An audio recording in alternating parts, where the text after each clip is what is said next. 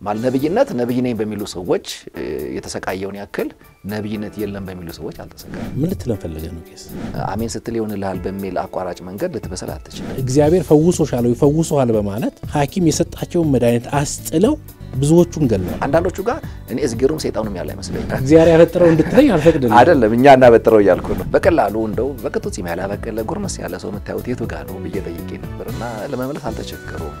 prophets የሚለው ጋር ነው ቀድመው ከመጋረጃው ጀርባ ተሰርተው ልክ በመገለጥ እንደመጡ በትንቢት ቃል እንደመጡ ጉባኤ ውስጥ ይሰራሉ። አንድ ሆኖ እዚህ ቤት እዚች ከተማ ላይ እኮ መቶ ዓመት ድርቅ ያሉ ቸርቾች ሕፃን ልጅ እኮ mic አስይዘህ እግዚአብሔር ቀባው ብለን እንድናስብ የሚሞግቱ አይነት ሚዲያዎች ሁሉ እኮ ያሉበት family ዎችን በዚህ ይረዳሉ።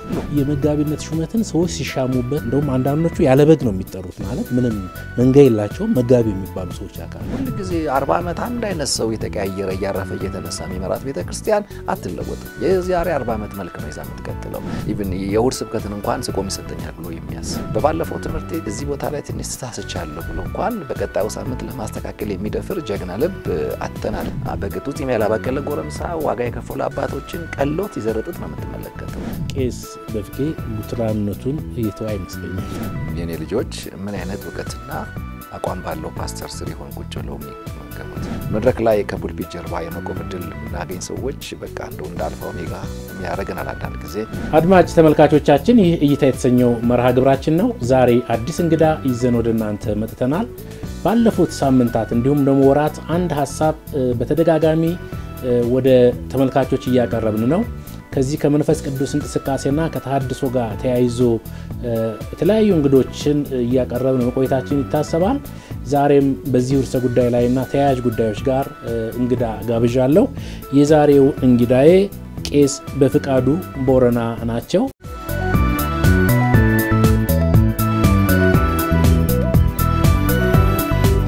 ቄስ ጥሬን አክብረው ስለመጡ በእኔና በተመልካቾች ስም እጅግ አድርጌ አመሰግናለሁ። ባለፈው ሳምንት እና ከዛ በፊትም ባለፉት ወራቶችም የዚህ የመንፈስ ቅዱስ እንቅስቃሴን እንደ ውይይት አድርገን አጀንዳ አድርገን ይዘነዋል። በእይታ እይታ በጣም ሆት የሆኑ ርዕሰ ጉዳዮችንና በቤተ ክርስቲያን ወሳኝ የምንላቸውን መርሃ ግብሮችን ትኩረት አድርጎ የሚሰራ ፕሮግራም ነው። ፕሮግራማችን በቃለ መጠይቅ መልክ ይቀርባል ግን ውይይቶች አሉት። ሙግትም አለው። በመሀል የሀሳብ ሙግት ይኖረዋል። እነዚህን ሁሉ ነገሮች ማዕቀፍ ያደረገ ነው። ነገር ግን የእንግዳችንን ክብርና ክብሮት ግን የተጠበቀ ነው ማለት ነው። ብንሟገት ሀሳብ ላይ ነው የምንሟገተው ማለት ነው። በዚህ ተመልካቾች እንዲረዱት አደራ ላለሁኝ። አንዳንድ ጊዜ ሀሳቦችን ጫን ብዬ በምናገርበት ጊዜ ተመልካቾች ግራ ይጋባሉ። አንተ ጋዜጠኛ ነህ የሚልም ጥያቄ ያነሳሉ። actually እኔ ጋዜጠኛ አይደለሁም። ይህ platform የጋዜጠኞች ማለት ጋዜጠኛ የሚያወራበት platform አይደለም። መሪነት ላይ ጥናት አጠናለሁ፣ እጽፋለሁ አንተም እንደምታውቀው። ስለዚህ ከቤተ ክርስቲያን angle መነሳት ያለባቸውን ከመሪነት issue ጋር የተያያዙትን ሀሳቦች የቤተ ክርስቲያን ፊተኛ መሪዎችን ጠርቼ ሀሳብ የምንከፋፈልበትና በሀሳቡ ላይ የምንሟገጥበት መድረክ ነው ማለት ነው እና ማስታወቂያው ለአንተ ሳይሆን ያው ለተመልካቾችም ጭምር ነው። እንደዚ አይነት ጥያቄ ስለሚቀርብ ነው። እስኪ እንደው ቄስ ፍቄ ወደ አንተ አንድ ጥያቄ ላቅርብ። እውነተኛ መንፈሳዊ ታድሶ ምንድን ነው? በቄስ ፍቃዱ እይታ በእኛ ሀገር ስለ መንፈሳዊ ተሃድሶ ይጸለያል፣ ህዝቡ ይጠማል። አንድ ቤተ ክርስቲያን አውቃለሁ አዲስ አበባ ውስጥ ለአንድ አመት የተሃድሶ እንቅስቃሴ ላይ የምትጸልይ እና ለአንድ አመት የማያቋርጥ ተከታታይ ትምህርት በዚህ ጋር አዘጋጅታ የምትሰጥ አንድ አጥቢያ በአጋጣሚ የመካፈል እድል ገጥሞኛል። ይችን አጥቢያ ያነሳው እንጂ ኢትዮጵያውያን ተሃድሶውን ሁልጊዜ ይጠማሉ፣ ይራባሉ፣ ይፈልጋሉ እና ከሰሜን እስከ ደቡብ ከምዕራብ እስከ ምስራቅ ደግሞ ዙረህ አገልግልሃል ቄስ ፍቄና በዚህ የአገልግሎት ዘመንህም ብዙ ቦታዎችን አይተሃል። ስለዚህ የማነሳው ነገር በደንብ ትረዳዋለህና እውነተኛ መንፈሳዊ ተሃድሶ በቄስ ፍቃዱ ቦረና እይታ ምንድን ነው? በመጀመሪያ በሁሉም አቅጣጫ በቤተ ክርስቲያን አካባቢ ተሃድሶ በትጋት መፈለጉ አሁን ያሉበት እውነት ላይ ያለ መርካት አንዱ ምልክት ነው ብዬ አስባለሁ። ምክንያቱም ያለበት ካረካህ ተጨማሪ አትፈልግም እና አትረብሽም። ያንን ለማስቀጠል ነው የምተጋው። ታድሶ የተለያየ አይነት መልክ አለው። የምናነሳው መንፈሳዊ ታድሶ መንፈሳዊ ታድሶ አዎ፣ ከዛም ደግሞ እውነተኛ ነው የሚለውን ነው እና መጀመሪያ ራሱ ዘኔም ታድሶ የሚለው ነገር መፈታት ያለበት ይመስለኛል። ምክንያቱም ለአንዳንዶች ታድሶ ማለት ጀምሮት ወዳልጨረሱት ቀጣዩን level የመፈለግ ትርጓሜ እየተሰጠው የሚመስል አይነት አካሄድ እናያለን። በአባቶች ያልተነገረ ወይ ደግሞ just ወደ ኋላ ተጀምሮ ያላለቀ በእኔ የሚያልቅ ወደፊት ላይ ወዳልነበረ ወደ ልዩ መነቃቃት ውስጥ መግባት እንደዛ አድርጎ የሚያስብ አረዳድ ያላቸው ሰዎች ይህንንም ቃል ይጠቀሙታል።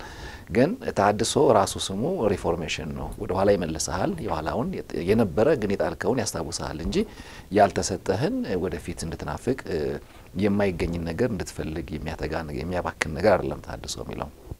የታድሶም እውነተኛ አካሄድ ወደ ኋላ መመለስ ከሆነ ያን ታድሶ እውነተኛ የሚያደርገው የነበረውን ማወቅ ነው። እውነት የሚያደርገው በታድሶ የምፈልገው ምንድን ነው ነው።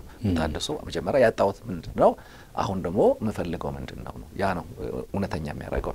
እንግዲህ ታድሶ መመለስ ነው ካለን ወዴት ነው የሚወስደን? እምነቱ እኔ ጋር ያልጀመረ የነበረ ቀድሞኝ የነበረ ለሺህ ዘመናት just የእግዚአብሔርን ሀሳብ ያቆየ ስርዓት ያለው ነው። ታድሶ የሚለውን በጥንቃቄ ስንፈልግ እጄ ላይ ያለው አባቶቼ እጅ ላይ የነበረና ወደ እኔ ያሻገሩትን ይመስላል ወይስ አይመስልም ከሚል ጥያቄ ነው መነሳት ያለበት። እንኳን የእምነትን ታድሶ አይደለም የቤትን እንኳን ታድሶ ስታስብ ስለ ማደስ ስታስብ ለዛ የሚያነቃቃህ የቤቱ መልኩን ማጣት፣ መሰነጣጠቅ፣ ቀለሙ ፌድ ማድረጉ ድምጽ ነው አደሰኝ እያልህ ነው ያለው እና የያዝከው እንዳረጀ ካልገባህ ወይም ደግሞ የቀደመ መልኩን እንደተቀማ ካልገባህ እውነተኛውን የመፈለግ ሀሳብን ለማሰብ እድል አታገኝም። ስለዚህ ያለንበት ነገር የቀደመውን እንዳልመሰለ ሲገባን እዛ እውቀት ጋር የሚጀመር ሀሳብ ነው ታድሶ ብዬ የማስበው። ከዚህ ከጀመረን የነበረ ያጣነው ምንድን ነው የሚለውን ከማወቅ ከጀመረን ይሄ ፍለጋ ግብ አለው፣ ይደርሳል፣ ያገኘዋል ማለት ወደ ኋላ ስትሄድ እምነቱ እየተቀመጠ ትናንትና አለው፣ ground አለው፣ ትውፊት አለው፣ ቀኖና አለው፣ ዶግማ አለው። ራሱ እምነቱ በመጽሐፍ የተቀመጠ እንደገና ደግሞ just እንደው በጣም ምን ያረካኛል ብለህ ከጠየቀኝ በአባቶች ዘመን ወደ ሐዋርያቱ ዘመን ማለት ነው ቆመው ሰብከዋል። ግን እንደኔ ቆመው የሰበኩትን ቁጭ ብለው ባይጽፉት ኖሮ አሁን ላይ ያለችው ቤተ ክርስቲያን ታድሶ የሚለውንም ለማሰብም ትቸገር ነበር ብዬ አስባለሁ። ወደ ኋላ ግምት ነው የሚኖራት እና አባቶቻችን ዋጋ የከፈሉለት እንደገና ደግሞ ጊዜ ወስደው ቁጭ ብለው በማይመች ሁኔታ ውስጥ ጽፈው ያቆዩት አንድ እውነት አላት። ቤተ ክርስቲያን ከዛ እውነት ጋር ነው መመዘን ያለባት። አሁን ያለችበት ልምምዷ፣ ካልቸሯ፣ ትራዲሽኗ፣ አቋሟ የተጻፈውን ከመሰለ ማስቀጠል እንጂ ያለባት ሌላ መፈለግ አይጠበቅባትም። መጽሐፉ የሚለውና እሷ ደግሞ ቆማ የምትገልጠው ሕይወት ከተፋታ ግን አርጅታለች ወይ መንገድ ስታለች፣ መመለስ ግዴታዋ ይሆናል። የዛ ግዴታ እውቀት ታድሶ የሚለውን ነገር እውን ያደርገዋል። ስለዚህ እውነተኛ የሚያደርገው የእውነት መመለስ መቻላችን ነው ብዬ አስባለሁ። እና አንድን ታድሶ እውነት የሚያደርገው ለእኔ ወደ ተጻፈው ስንመለስ፣ ወደ ነበረው ስንመለስ፣ በመጽሐፍ ወደ ቆየው ጤናማ አሰራር ለመመለስ ፈቃደኛ ከሆነን ያ ታድሶ ነው የእውነት ያደርገዋል ብዬ አስባለሁ። ስለዚህ በትርጓሜ ስንነሳ ታድሶ መመለስ ነው። አዎ የተሰጠ መፈለግ ነው። ምክንያቱም ከክርስትናው ባህሪ angle ነው ታድሶን መመለስ እንዲሆን የሚያስገድደው። የክርስትና ባህሪ ምንድን ነው? መለኮት ሲሰጥህ እየቆነጠረ እየቆነጠረ በየ century ው አይደለም የሰጠህ፣ ያለቀ እውነትን ነው የሰጠን። ስለዚህ የተጀመረ አባቶች የጀመሩት እኔ የመጨረሰው ፓርቲ የለውም። ያንኑ ከነሱ ያለቀውን እውነት ነው ይዤ የሚሄደው። የመስቀል ላይም የመጨረሻው ንግግር ተፈጸመ ነው የሚለው። ስለዚህ ወደ ተፈጸመ ህይወት ነው የገባሁትኝ እና አንድ የእምነት ተቋም አረጀ የሚባለው ከዛ ከነበረ እውነት ሲወጣ ነው። ታደሰ የሚባለው ወደዛ እውነት ሲመለስ ነው። በቀደመ መልኩ ውስጥ መታየት ነው ታድሶ እንጂ አዲስ ውበት መፍጠር አይደለም፣ መፈለግ አይደለም። ተሀድሶ አንድ ጥሩ ምሳሌ ቅድም ተጠቅመሃል። ቄስ ቤት ሲያረጅ ሲሰነጣጠቅ አድሰኝ እያለ ነው አውጥቶ እየተናገረ ነው የሚል ጥሩ ነገር አንስተሃል። ቅርብ ካለው ነገር ለመነሳት ማለት ነው። ማደስና በላዩ ላይ መደረት አንድ ናቸው። ብዙ ጊዜ ከመንፈሳዊ ተሀድሶ ጋር ተነስቶ ጋር የተያያዘ ነገር ይነሳና ማደስ ሳይሆን መደረት የሚመስል ነገር አለ። አንድም ቤት አስብ እንግዲህ ቤቱን ስታድሰው የቤቱን ቅርጽ አትለውጥም። የተወሰኑ ነገሮችን የምትነካካቸው ነገሮች ይኖሩ ይሆናል። ምሳሌ ስለሆነ ነው። ነገር ግን ቤቱን የምታድሰው ወደ ቀድሞ መጀመሪያ ወደ ነበረው ነገር እንዲመጣ ነው፣ ወይም ደግሞ የተሻለ ውበት እንዲያገኝ ነው የምታድሰው። ይሄኛው ምሳሌ አነጋገር ነው። ግን ብዙ ጊዜ መንፈሳዊ ተሃድሶ ተብሎ መሬት ላይ ግን መንፈሳዊ ድሪቶ ይሆናል። እንዴት ይሄን ነገር? ያው የራሱ የመደረት የሚለው ቃል ጥሩ ነው፣ ወድጀዋለሁ። መደረት ማለት ስንጥቃቱን አይተህ ለመደበቅ የምትሄድበት መንገድ ነው። ያ ትልቅ ስህተት ነው። ተሃድሶ እውነተኛ የተሃድሶ ናፋቂዎች መጀመሪያ ተሃድሶን ከመናፈቃቸው በፊት መፍረሳቸውን ያምናሉ፣ ይቀበላሉ፣ ድካማቸውን ይቀበላሉ። አይወዝሩም። በቃ ተሳስቻለሁ ጋር የደረሰ ልብ ጥማት ነው ተሃድሶ የሚባለው ነገር። ያለውበት አድቷል። እርጅናው ጋር ላረጀው ነገር አይኔን ከጨፈንኩኝ አዲሱ ነገር ናፍቆቴ አይሆንም፣ መመለስ ናፍቆቴ ሊሆን አይችልም። እና ከመቀበል ነው የሚጀምረው። ለምሳሌ በቃ ወድቀናል፣ ስተናል፣ እንዲሆንናል ከሚል ነው የሚነሳው ተሃድሶ። ወድቀናልም ምንድን ነው የመለሳለስ ቋንቋ አይደለም። ለቤተ ክርስቲያን ወድቀናል በትክክለኛው የመጽሐፍ ቅዱስ ሚዛን ተመዝነህ ስትወድቅ እዛ ጋር የምትገናኘው መረዳት ነው የሚሆነው። ከዛ የሚጀምር ሰው ስቻለሁ ብሎ የሚጀምር ከመንገድ ወጥቻለሁ ብሎ የሚጀምር ሕሊና ወደ መንገዱ መመለስን እንጂ የሚያስበው ያን ጥመቱን በሌላ ጥመት አይደረተውም። አሁን ግን በአብዛኛው I was wrong የሚል ነገር ስቃያችን ነው አደለ? ተሳስቼ ነበር በትምህርቴም ተሳስቼ ነበር በልምዴም የሚል በባለፈው ትምህርቴ እዚህ ቦታ ላይ ትንሽ ተሳስቻለሁ ብሎ እንኳን በቀጣዩ ሳምንት ለማስተካከል የሚደፍር ጀግና ልብ አተናል። እዛ ጋ ትንሽ ልምሻ አለብን እና እንደዚ አይነት አቋም ውስጥ የሚቆዩ ሰዎች እውነተኛን ታድሶ ይናፍቁታል እንጂ አይገናኙትም፣ ይስቱታል። ምክንያቱም ታድሶ ውድቀትን ከማወቅ የሚጀምር ነው።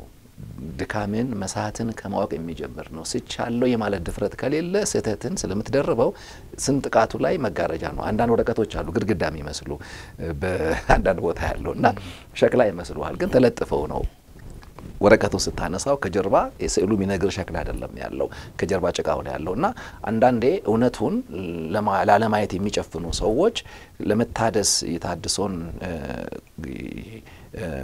ወኔ የሚጠይቅ መንገድ ከመጀመር ይልቅ ያችን መደረቷ ትቀላቸዋለች። አንድ ነገር አስታወስከኝ። ተሳስቼ ነበር ወይ የሚል አንድ መጽሐፍ ከቅርብ ዓመታት በፊት አንብቤ ያለሁኝ ትርጉም መጽሐፍ ነው። ማክስዌል ነው የጻፈው የሊደርሽፕ ሊቅ ነው እና ጆን ማክስዌል ስህተቴን ወደድኩት ነው የሚለው ትርጓሜው ወደኛ በአማርኛ ሲተረጎም በነጮቹ ባህል ወይም በሌላው ዓለም ኢትዮጵያውያን አብያተ ክርስቲያናት ብታገለግልም መቼም በእንግድነትህ ነጮችን በአንድም በሌላም ታገኛለህ። ብዙ ስለምትዞር በመላው ዓለም አንተ በሌሎች ዓለማት ሰዎች ከፊት ያሉ ሰዎች መሳሳታቸውን በአደባባይ ማመን ይችላሉ። ባህሉ ይፈቅድላቸዋል። ዛሬ ተሳስቻለሁ ስላሉ እንደውም የተሻለ ተቀባይነት ያገኛሉ። ታማኝነታቸው በእኛ ማህበረሰብ ደግሞ የዚህ ተቃራኒ ነው።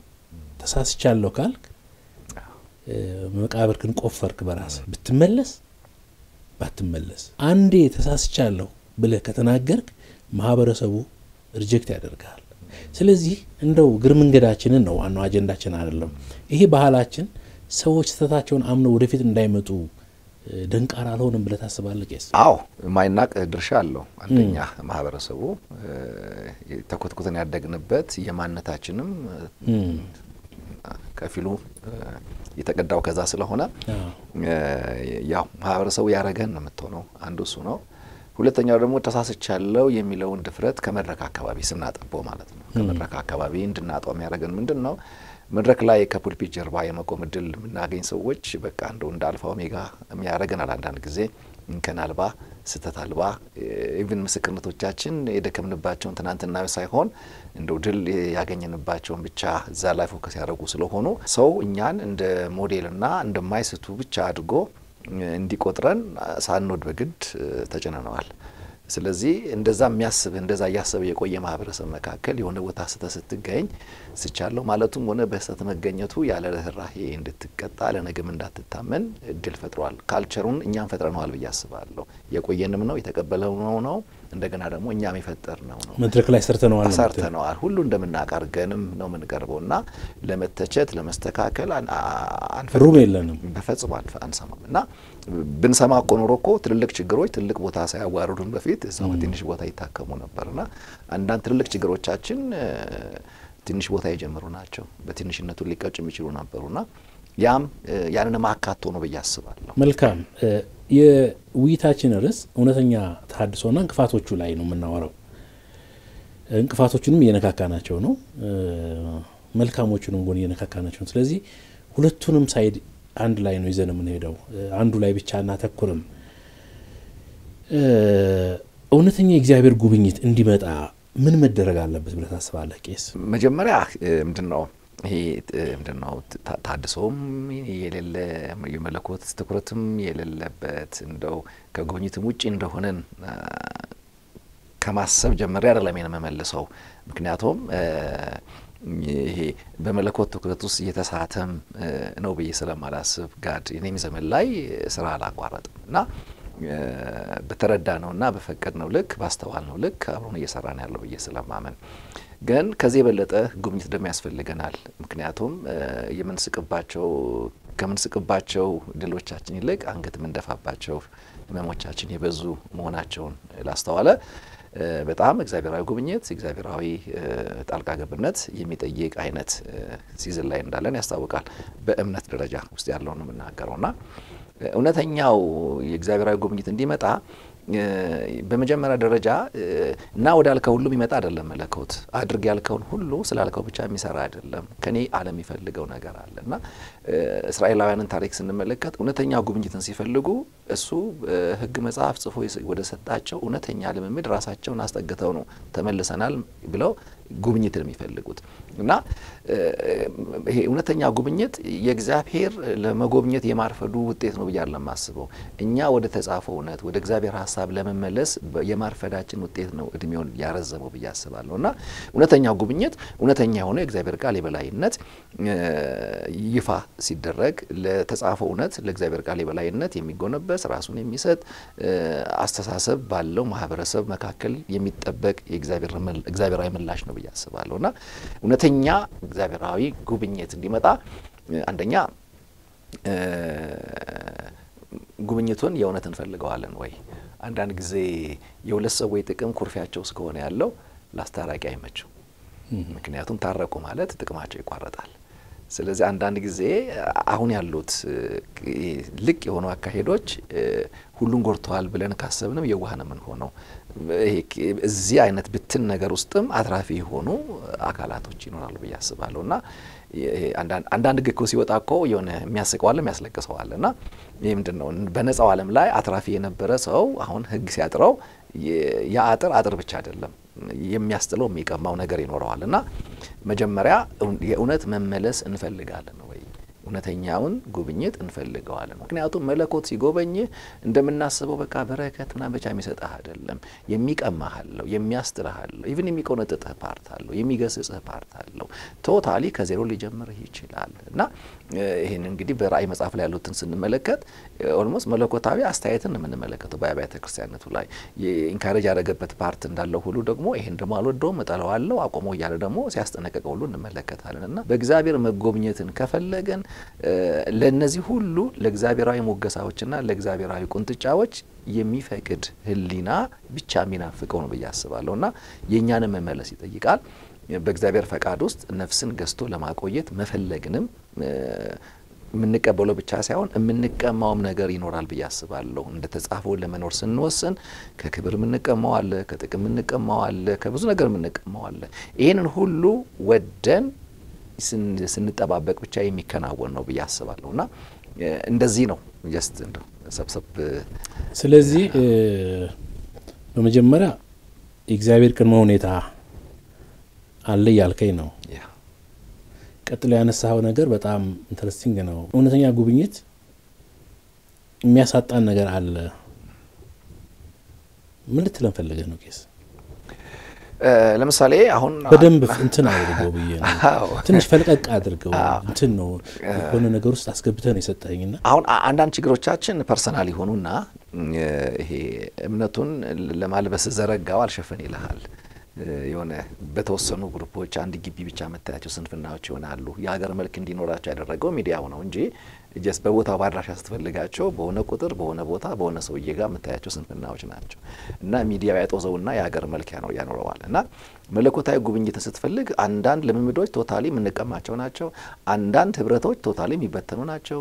ራሱ ጉብኝቱን ሊበትን እንዲህ አይደለሁም ነው የሚልህ መጽሐፉ ራሱ። አሁን እኛ እንዲህ ነው ብለን የምንጮህለት ነገር በመጽሐፉ ሲመዘን መጽሐፉ የማያውቀው ሆኖ ሊገኝ ይችላል። አላቀውም አላቅህም መባልን ፈቅደህ okay ወደምታውቀው እመጣለሁ ስትል አንዳንዴ ፈቃድ ሊቀማውል ይችላል። ገብተዋል። ተቋምን ሁሉ ሊቀማሉ ይችላል። ምክንያቱም አብዛኛው በተጻፈው መንገድ መንገዱን ተከትለን የተገናኘ ነው ክብር ነው ወይ ብለን ስንጠይቅ ግማሽ አዎ ነው የሚሆነው። ሁሉም በዛ መንገድ አልደረሰም እና ስለዚህ ከዚህ angle ነው just እውነተኛውን መመለስ እና ጉብኝት የምንፈልግ ከሆነ totally የምንቀማውም የምናጣውም ነገር ሊኖር ይችላል። እንደ በጣም አክረው ካልከኝ ነኝ ያልነው ሁሉ በእውነተኛ መጽሐፍ ቅዱሳዊ ሚዛን ላይ ሲመዘን ላልሆን እንችላለን። ከመሬት ተነስቼ ሐዋርያ ነኝ ብዬ ሊሆን ይችላል። ግን በትክክለኛው ሐዋርያነትን ለአካሉ በሰጠበት መንገድ ውስጥ ስንፈለግ አይደለም ልንባል እንችላለን። ፈቃደኛ መሆን አለብን። I was wrong ብለን መቀመጥ አለብን። ሁን አገልጋይ ነኝ አይደለህም ሊለኝ ይችላል። እውነተኛው ወደዚህ የመጣሁበት መንገድ ነው ያንን result ጋር እንድፋጠጥ የሚያደርገኝ። ስለዚህ መፍቀድ መቻል አለብኝ። ማለት እኔ እንደምፈልገው እንዲሆን አይደለም እምነቱ የሚፈልገው እኔን እምነቱ እንደሚፈልገው እንደሆንለት ነው። እምነቱ ወደ ራሱ እንጂ የሳበኝ ወደ ፍላጎቴ የሚመጣ ነገር አይደለም ያለውና እንደ ሐዋርያቱ ማለት ነው ወንጌል እንዲቀጥል ለመሞት ፈቃደኛ ናቸው። ክብራቸውን ለመጣል ፈቃደኛ ናቸው። ሰንሰለት ለመልበስ ፈቃደኛ ናቸው እና ዋጋ ለመክፈል እሺ የሚል ልብ ስለነበራቸው ያ እውነት ሞትን ተሻግረው እኔና እናንተ ጋር እንዲደርስ እድል አግኝተዋል እና ከዚህ angle ነው አንዳንድ መለኮታዊ ጉብኝቶች የእውነት ሲመጡ አይደለም ከግለሰብ እንደ ተቋም እንኳን ሊያፈርሰን ሁሉ የሚችልበት አጋጣሚ ስላለ ለዛ ሁሉ መዘጋጀትን ይፈልጋል። እውነተኛ ጉብኝት ከመጣ አሁን ያሉት እውነት የሚመስሉ ነገሮች በሙሉ ያው ብርሃን ፊት አለ የምንጋለጠው አሁን ጨለማ እኮ ጥሩ ነገሩ ምንድን ነው? ይደብቀሃል። አይደለም ከሰው አንተንም ከአንተ ይደብቃል፣ ከህሊና ይደብቃል፣ ከብዙ ነገር ይደብቃል። እና ብርሃን ጋር ስትሆን ሁሉ በብርሃን ሲጋለጥ ያኔ ይታወቃል። ሰው ድፍረት ያገኛል። የስ ነው የሚለውን ነገር ለማግኘት እድል ያገኛል። ጉብኝት እኮ ማለት ሰው ለተጻፈው እንዲጨክን አቅም ማግኘት ማለት ነው። ሌላ አይነት ነገር አይደለም። አሁን ግን ምንም በለው አሜን የሚል አንተ ስበክም ተወራጭም ገብተዋል ምላሽ ለመስጠት በደመ ነፍስ ያለ ማንነት ነው ያለው። ይሄ ጨለማውን መክበድ ነው የሚያሳየው። መርጦ ለመቀበል ፈቃደኛ ያልሆነ አንድ ነገር ላንሳ ቄስ I think እየተንደረደርን ወደ ውስጥ ትንሽ እየገባን ነው። I think በደንብ መግባት አለብን ከነካከኑ አይቀር ጉብኝት ብለን ጀምረናል። አሁን እየተወያየን ነው። በአንድም በሌላም በምድራችን ላይ ስላሉት መንፈሳዊ እንቅስቃሴ በተለይ ደግሞ ከዚህ ከካሪዝማቲክ እንቅስቃሴ ጋር የተያያዘ መንፈስ ቅዱስ የጸጋ ስጦታዎችን ጋር የተያያዘ አሁን ካሉት ነገሮች ጋር የተያያዘውን ነገር እየነካካ ነው ነው ወደ ዳር ነው ያለ ነው። እስካሁን ወደ ጥልቁ መግባት አለብን። አሁን ኢትዮጵያ ውስጥ ያሉት የመንፈስ ቅዱስ እንቅስቃሴ የሚመስሉ አንዳንድ ወገኖች አይደሉም ብለው ያስባሉ። ሌሎች ደግሞ የዛ እንቅስቃሴ ደጋፊ ደግሞ የሆኑት ጉብኝት ነው ብለው ያስባሉ። ግን እግዚአብሔር በአንድ ከተማ ውስጥ በአንድ ሀገር ውስጥ አንድን ዳስ ላይ የሆነ እንቅስቃሴ አድርጎ ሌሎች ቦታ ላይ ሳይደርስ ይቀራል ወይ? በመንፈስ ቅዱስ እንቅስቃሴ፣ በተሀድሶ እንቅስቃሴ በዚህ ከእግዚአብሔር በምንጠብቀው በኢትዮጵያውያን አጠቃላይ ምስል የስነ መለኮት ፍቹን አይደለም የተናገርኩ ያለሁት። ግን እንደ አማኝ ተሀድሶ ጉብኝት ስንል ብዙዎቻችን ውስጥ አይምሮ ላይ የሚመጣው የመንፈስ ቅዱስ እንቅስቃሴ ጋር የተያያዘው ነገር ነው። አሁን ከተማችን ውስጥ አሉ እነሱ ነገሮች በብዙ ቦታ። አሁን በከተማችን ውስጥ ያሉ በተለይ ጎልቶ የሚታዩ ከትንቢትና ከነቢያት አገልግሎት ጋር የተያያዙ እንቅስቃሴዎች የእውነተኛ ጉብኝት የመጀመሪያው ነው ወይም አይደለም ካልከኝ በኋላ ወደሚቀጥለው እንሄዳለን። ግን አስምረን እንነሳ። already የተወሰነ ነገር ገብተናል፣ እያነሳን ነው። አንተም ደግሞ አንስተዋል። አንድ ቦታ ላይ ጥቂት ቦታ ላይ ያሉ ናቸው። ያገነነው ሚዲያው ነው ብለኸኛል። በእርግጥ ሚዲያ ያጀግናል። የታወቀ ነው። ብዙ ሰዎች ሚዲያ ያጀግኗቸዋል። አሁንም ሚዲያው social media ው ያጀገናቸው እንቅስቃሴዎች አሉ የእግዚአብሔር የሚመስሉ እነዚህ እንቅስቃሴዎች የእግዚአብሔር ጉብኝት ምልክት ናቸው ወይስ አይደሉም? በአንተ እይታ? ያው እንዲህ አጥብቤ እንድናገር ትንሽ ጫና አለብኝ አድርገህብኛል። ምክንያቱም እንደዛ እንዳይሆን የሚያደርገው የምናወራው ስለ ትልቅ ሃይማኖት መሆኑ ነው። ለምሳሌ ስለ አንድ አጥቢያ ለምሳሌ እኔ ስለመመራው አጥቢያ ተነስተን ብናወራ ከዚህ ተነስተን መመለስ እንችላለን። ስለ ትልቅ እምነት ስናወራ ራሱ እምነቱ ሲጀመርም ጀምሮ አይ አዎ የሚባል ነገሮችን ይዞ ነው የመጣው። ስንዴውንም እንክርዳዱንም። ለምሳሌ ወደ ግብርናው አካባቢ ስታልፍ እንክርዳድ የሚባለውን ዘር የምታገኘው በቆሎ እርሻ ውስጥ አይደለም፣ ማሽላ እርሻ ውስጥም አታገኘውም። ካገኘ የምታገኘው ስንዴ እርሻ ውስጥ ነው የምታገኘው። ለምንድን ነው እንክርዳድ ከሌሎች አዛርት ሁሉ መርጦ ስንዴን መጠጋት የፈለገው ብለን ስንጠይቅ ስለሚመስለው ነው። ቅጠሉ ይመስለዋል፣ ሁሉ ይመስለዋል። የምትለየው በፍሬው ነው እና ለዚህ ነው እንክርዳድና ስንዴ በባህሪያቸው ተለያይተው የማይታወቁት። አሁን ነው አይደለም እንድንል አንዳንዴ ነው ስል እንክርዳዱም አብሮ ይገባብኛል፣ እቸገራለሁ። አይደለም ደግሞ ስል ስንዴውን አጠዋለሁ። ከዛ angle ትንሽ ማበጥ ላበጣሪ መስጠቱ ጥሩ ነው። ኖ ኖ ኖ ኖ ኖ ይሄ ማለት እግዚአብሔር ያበጥረው እንድትለኝ አልፈቅድልም። አይደለም እኛ እናበጥረው እያልኩ ነው። እያበጠር ነው ብናወራ ሁለቱንም አይደለም። ይሄ ይሄ ከሆነ አይደለም፣ ይሄ ደግሞ ነው ለማለት እድል አገኛለሁ። በሱ ነው አሁን አንተን ስጠራ በቤተ ክርስቲያን ውስጥ ያለህን አገልግሎት በዚህ በመንፈስ ቅዱስ ስጦታዎች እንደምታገለግል በኋላም ላይ እናያለን። በዚህ ያንተን ቪዲዮዎች ለማየት ጥረት አድርጌ ያለሁኝ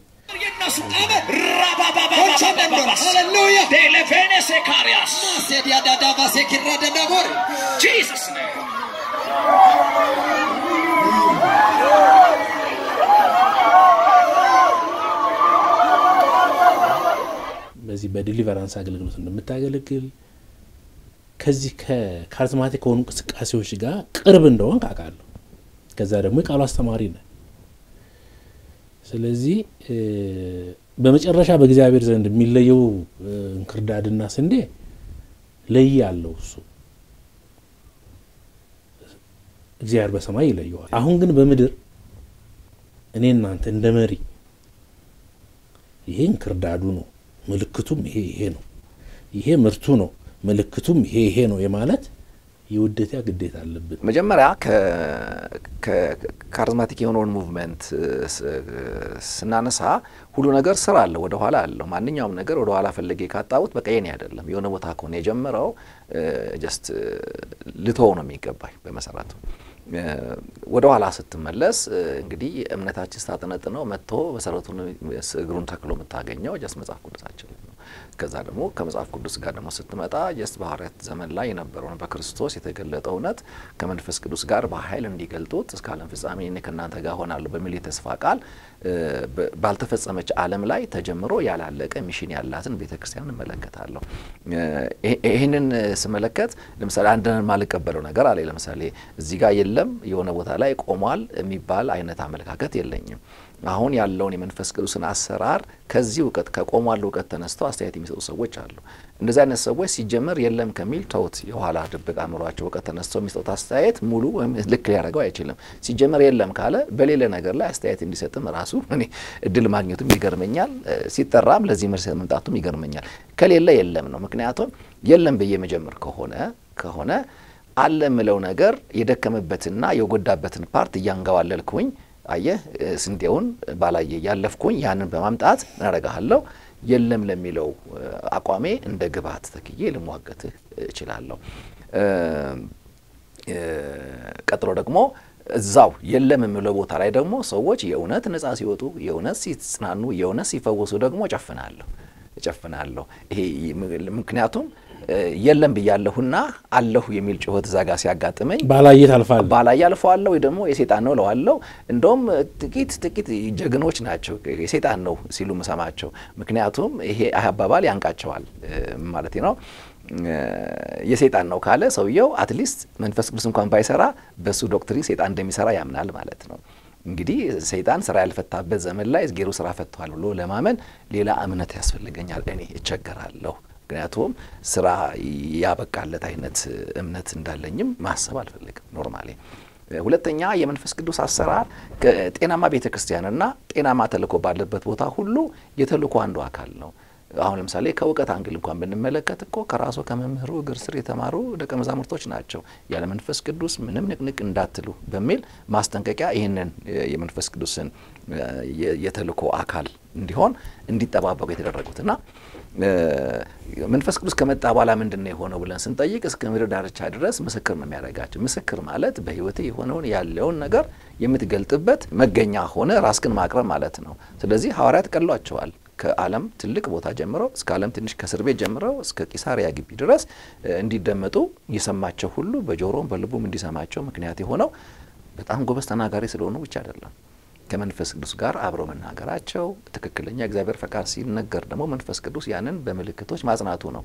ይሄ በቤተ ክርስቲያን ተልእኮ ውስጥ የጀመረ part ነው ያለው። ስለዚህ የሆነ ቦታ ቆሟል ካልኩኝ ቤተ ክርስቲያን mission ኗን ጨርሳለች እያልኩ ነው ያለሁትኝ። ማለት ድነት ተወርቶ ባላለቀበት ሊድን የሚገባው ሰው ወንጌል መስማት ገና ባላቋረጠበት እስከ ምድር ዳርቻ ወይም እስከ ዓለም ፍጻሜ ካለ ዓለም ባልተፈጸመበት አሁን ላይ ሆኜ ከዚህ እስከዚህ ያለው እዚህ ድረስ አለ ከዚህ ከዚህ ጋር የለም በሚል አቋም ውስጥ ከሆነ ያለሁትኝ አሁን የምናወራቸው charismatic movement ኦች ለሁለት የምንጓተትባቸው ነው የሚሆኑ ግራና ቀኝ በየለምና ባለ መካከል የምንሟገት ነው የሚሆነው። ስለዚህ ጥያቄውን ሰፊ የሚያደርገው ይሄ ነው።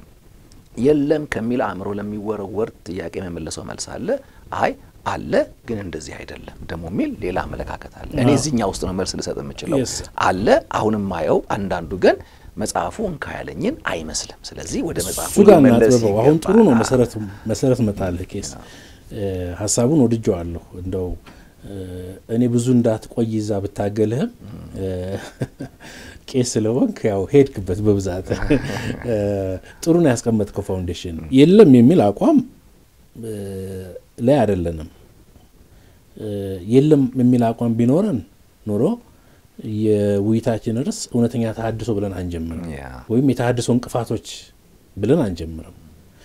እውነተኛ ተሀድሶ፣ እውነተኛ ጉብኝት፣ እውነተኛ የመንፈስ ቅዱስ እንቅስቃሴ እንዳለ እናምናለን። በእኔም በአንተ መካከል ልዩነት የለም በዚህ ላይ ምክንያቱም በዚህ መድረክ ላይ የለም የሚሉ ወገኖች በተወሰነ መልኩ ጋር ተወያይቼ አውቃለሁ። አለ ከሚሉት ጋር ተወያይቼ አውቃለሁ። ተመልካቾች የራስህን ሀሳብ ምናምን ይሉኛል። ይህ already ቅድም እንደተናገርኩት ከእኔ ሀሳብ ተነስቼ ነው ውይይቱን የምመራው እና የእኔ ሀሳብ ለብቻው የእንግዳ ሀሳብ ብቻ የሚቀርብበት አይደለም እና ሁልጊዜ በዚህ ውይይት ውስጥ የኔ ሀሳብ 50 percent ኡን ይይዛል። ስለዚህ እውነተኛ የመንፈስ ቅዱስ ጉብኝት፣ እውነተኛ የመንፈስ ቅዱስ እንቅስቃሴ እንዳለ እናምናለን። ጥያቄው ከዚህ ማዶ ነው። አሁን በከተማችን አሁን በምድራችን ያለው እንቅስቃሴ እውነተኛ የእግዚአብሔር ጉብኝት ነው ወይ? በእግዚአብሔር ቃል መነጽር ቄስ ፍቃዱ ቦረና እንዴት ያየዋል? በእግዚአብሔር ቃል ብርሃን ስንመለከተው አሁን ላይ ያሉት እንቅስቃሴዎች እንግዲህ ሳማሪያን ስፕሪት የሚባል ነገር አለ። ጽድት ብሎም አይሁዳዊ አይደለም፣ ደግሞ አልቆም አህዛብ አይደለም።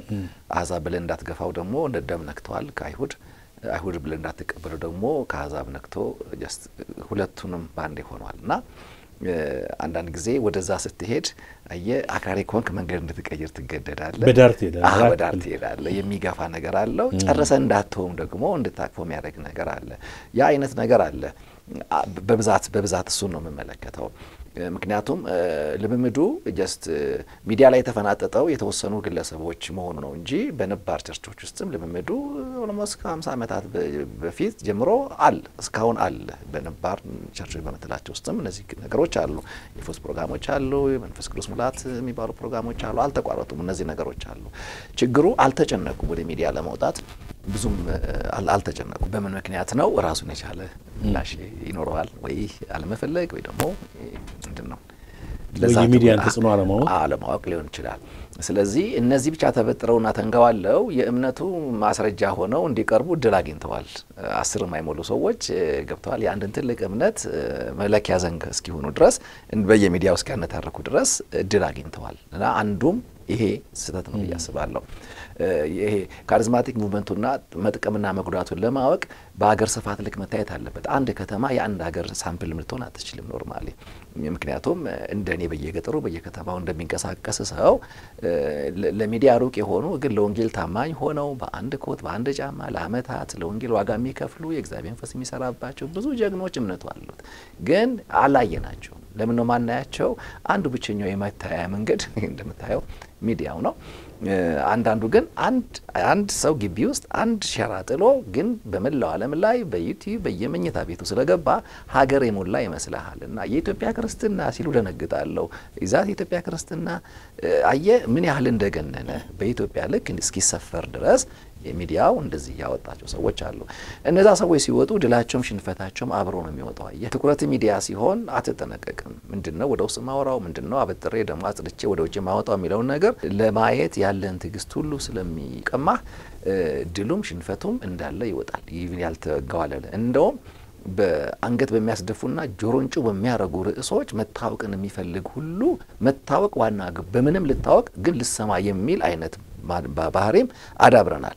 ይህን ሁሉ ጨምረን charismatic movement ውስጥ እንመዝን ስንለው ሚዛኑ አባይ ይሆናል አባይ ይሆናል። that ለዚህ ነው መበጠር አለበት ብለውና አንዳንድ ልምምዶች ሰማይ አልሰጣቸውም፣ ኖቶን ያልሰጣቸውም አያውቃቸውም ብዬ በድፍረት መናገር እችላለሁ። በፍጹም አያውቃቸውም። በመጽሐፍ ቅዱስ በአባቶች ትናንትና ፈልጌ ካጣዋቸው ልቀበላቸው አልገደድም። ነኝ ሲል ማነህ ተብሎ መጠየቅ አለበት። ማነ ሲል እከሌ ነኝ ብሎ ማስረጃ ያስፈልገዋል። ከዚህ ጋር እግዚአብሔር ላከኝ ካለ በመጨረሻው ዘመን በዘመን ፍጻሜ በአዲስ ልምምድ እኔን አይልከኝም አባቶችን በላከበት ወግና ስርዓት መንገድ ውስጥ ነው የሚልከኝ ብዬ አስባለሁ እና ያንኑ ከክርስቶስ የተቀበሉትን እውነት ለማጽናት ያንን ዓላማ ባደረገ መንገድ ግቡ ለእግዚአብሔር ክብር እና ለሰዎች ደግሞ የመዳን ትርፍ ሊያመጣ በሚችልበት ወግ ስርዓት ውስጥ አገልግሎት እንዲከናወን እነዚህ ጸጋ ስጦታዎች ተሰጥተዋል። የመንፈስ ቅዱስ መምጣት ትሩፋቶች ከሆኑ ለምንድን ነው የመጣው ብሎ መጠየቅ ያስፈልጋል። መምጣቱን ብቻ ሳይሆን ሚሽኑን ፐርፐዙንም ጌታ ተናግሯል። በመጣ ጊዜ አንደኛ እኔን ያከብረኛል ነው። ስለዚህ የትኛው ልምዶች ለእግዚአብሔር ክብር ሆነዋል ወይስ ደግሞ ለባለጸጋው ክብር ሆነዋል የሚለው ነገር በዛ ብርሃን ይታያሉ። የክብሩ ባለቤትን ስናውቀው ልክ ነው ልክ አይደለም የሚለውንም አብረን እናውቃለን ብዬ አስባለሁ። ሁለተኛ ከእኔ የሆነ ያሳስባችኋል ነው። በእንደዚህ አይነት ልምምዶች ውስጥ ሰዎች ከልምምዱ ማብቂያ ላይ ማን አትርፈው ሄዱ?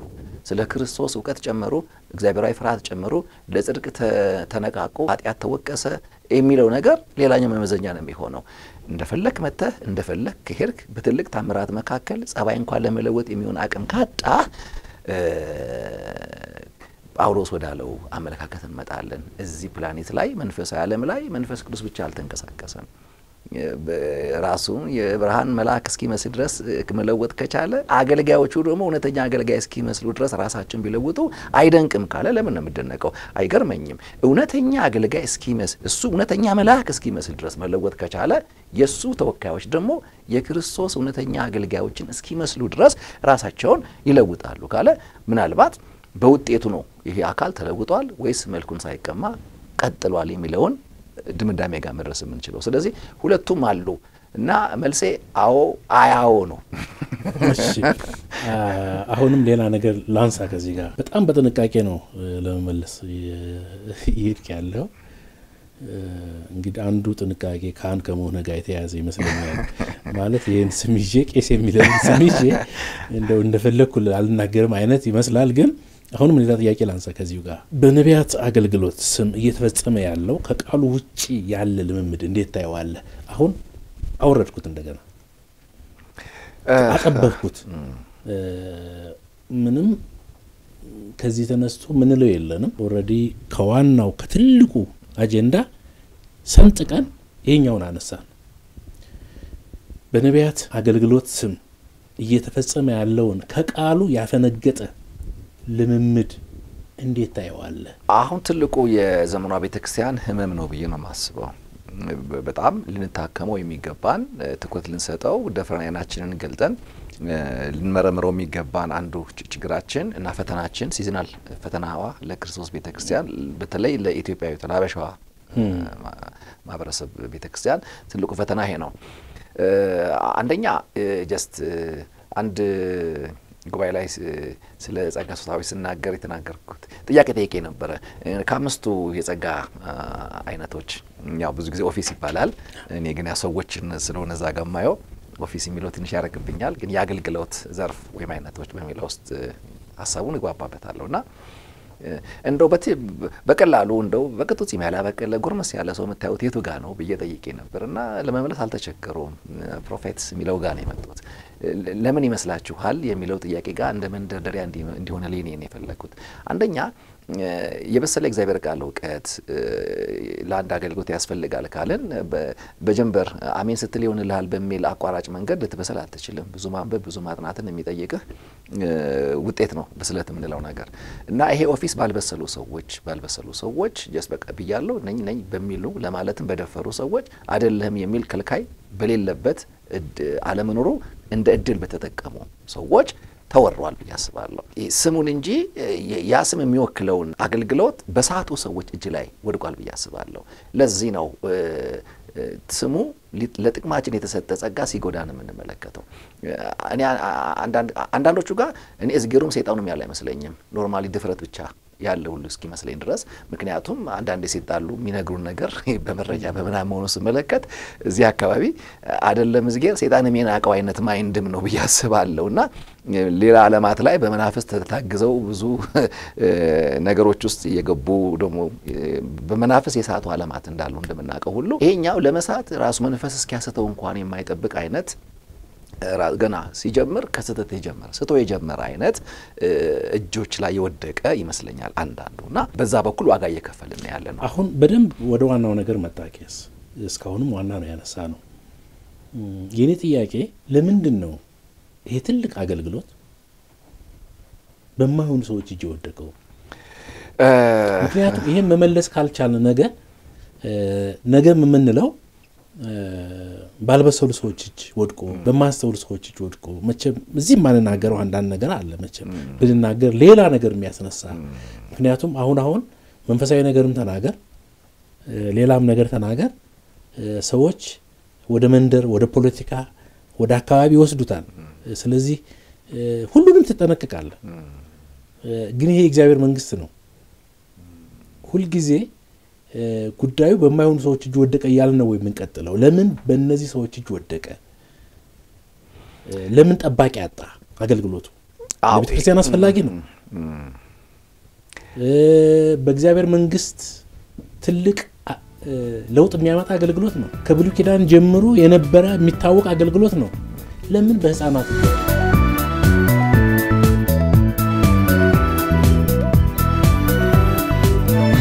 እንዲህ አይነት የጸጋ ስጦታዎች ለግለሰብ እንደተሰጡ የሚያስብ እውቀት ወይም አመለካከት አቆይተናል ብዬ አስባለሁ። Christ ሰማይ ለግለሰብ የሰጠው salvation ን ነው። በክርስቶስ ሰውቶ ያለቀውን የድነት ስራ ነው የሰጠው። የጸጋ ስጦታዎችን ግን እንደ አካል ባዋቀራቸውና ራሷ በሆነ በቤተ ክርስቲያን ውስጥ የሰጠው የጸጋ ስጦታ ነው። ለዚህ ነው ለአካሉ ለቤተ ክርስቲያን ሰጠ ነው የሚለው። አስተማሪዎች፣ እረኞችን፣ ወንጌል ሰባኪዎችን፣ ነቢያትን፣ ሐዋርያትን ለአካሉ ለቤተ ክርስቲያን ሰጠ ነው የሚለው። አንደኛ እንደ አካል ካልተደራጀን አካል እንደሆንን የሚገልጥ ስርዓት ከሌለን ካጣን ተበትነናል። አሁን ያ መበተን የፈጠረው እድል ነው ብዬ አስባለሁ። አንደኛ ሁለተኛ ጸጋው ለአካል የተሰጠ ብቻ ሳይሆን ለምን purpose ነው የተሰጠው የሚለውንም ሰጪው ዝም ብሎ አይሰጥም። ከምክንያት ጋር ነው የሚሰጠው፣ ከዓላማ ጋር ነው የሚሰጠው። በትንሹ ራሱ ቆሮንቶስ ላይ ኤፌሶን ላይ የሚነግረው ምንድን ነው? የእግዚአብሔር ልጅ በማመንና በማወቅ ወደሚገኝ አንድነት ያመጡን ዘንድ አንደኛው እኔ እንደው የሚያረካኝ purpose እሱ ነው። የእግዚአብሔር ልጅ በማወቅና በማመን ወደሚገኝ አንድነት። አንድ አንድነት አለ። የአንድነት ግን የእግዚአብሔር ልጅ ካላወቅከው ካላመንከው አትደርሰውም፣ አትነካውም አታጣጥመው አትካፍለውም። የዛ አካል ልትሆን አትችልም። ስለዚህ ይሄ ይሄ ground ተስቷል። እነዚህ ጸጋዎች ከመጡ የእግዚአብሔር ልጅ በእውቀት ይገልጡታል። የዛ እውቀት ተካፋይ የሆነ ማንነት ደግሞ ወደ እምነት ይመጣል። የዛ እምነት ውጤት ነው አንድነት የምንለው። እዛ አንድነት ውስጥ ነው ነቢይነትን፣ ሐዋርያነትን፣ አስተማሪነትን ልናጣጥመውና በተሰጠለት ዓላማ ልንጠቀመው የምንችለው። አካሉ ከሌለ ተበትኗል። አሁን ምንድን ነው ምንም ቸርችም የሚመራውም ዋጋ የሚከፍልለትም ተከታትሎ ጀምሮ የሚጨርሰውም ምንም በሌለበት ራሱ ሲጀምር ነቢይ ሆኖ ይጀምራል።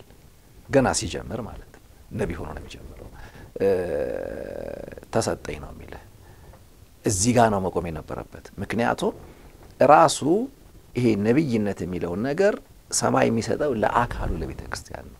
ሲጀመር አካልን የማያውቅ በአካል ውስጥ የሌለ የት ነህ ብትለው እዚህ ነኝ ብሎ አድራሻና location ሊነግር የማይችል ማንነት ይሄ ጸጋ አለኝ ካለ እግዚአብሔር እንዲህ አይነት ነገር አይሰጥም የማለት ድፍረት ያላት ተቋም ቀድማ ከሌለች ከልካይ የለምና አጥር የለምና ሰው ባልተሰመረ ሜዳ እንደመጫወት ነው። ኳሱን አንጥረኸዋል፣ መስመሩ የለም፣ አንግሉ የለም፣ ሩጫ ብቻ ነው። በዛ ውስጥ በትክክል ተቆጥሮ ለደስታ ሆነ ለሐዘን የሚሆን ግብ ልትቆጥር አትችልም። እና ያ የቤተ ክርስቲያን አሁን ያለችው ቤተ ክርስቲያን በተለያየ አይነት አቅጣጫ የመበታተኗ ምንድን ነው ማዕከላዊነት የማጣቷ ጉዳይ ዋጋ እያስከፈላት አለ። ከዛም አንዱ ይሄ አሁን የምናወራው ርዕስ ነው ብዬ አስባለሁ።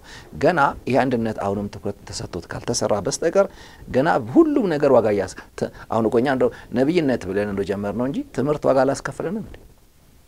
እንደውም አሁን እንደው የነቢይነት እኮ ቀዝቅዟል። ሰው ምእመኑም እኮ በቃ ይሆንልሃል ተብሎ እንዲሆን ጠብቆ ዘመን ጠብቆ ሲያቅ ተስፋ ቆርጦ አንዳንዱ ተበሳይቶ ተስፋ ቆርጦ almost ያለ አስተማሪ ራሱን እየጠበቀ ያለበት ቦታ ላይ ነው ያለ ነው። አሁን እኮ ትምህርት ራሱ ዋጋ እያስከፈለን ያለ ነው። ለምሳሌ በየትኛውም አብያተ ክርስቲያናት በየትኛውም ቦታ ላይ እዚህ ናቸው ልትላቸው ደፍረህ ማታቃቸው ሰዎች እምነቱን ወክለው ትልልቅ አንቀጽ ሲያጸድቁ በሚዲያ ላይ ለሙግት ሲያቀርቡ እና ሲቀርቡ ትመለከታለን። ይሄ የሚያሳየን ምንድን ነው? ማንን ወክለ ነው? አንዳንድ ሰዎች የሚሟገቱላትን ቤተ ክርስቲያን አያቋትም፣ በአካል አያቋትም፣ እሁድ አያቋትም፣ ሰኞ አያቋትም፣ ማክሰኞ አያቋትም። ሚዲያ ላይ ግን በደንብ ያቋታል፣ social media ላይ ናቸው። አዎ። ስለዚህ ይሟገትላታል። ይሄና ይሄ ስህተት ነው ይልሃል። እሱ የት ቆሞ ነው ይህን የሚለኝ?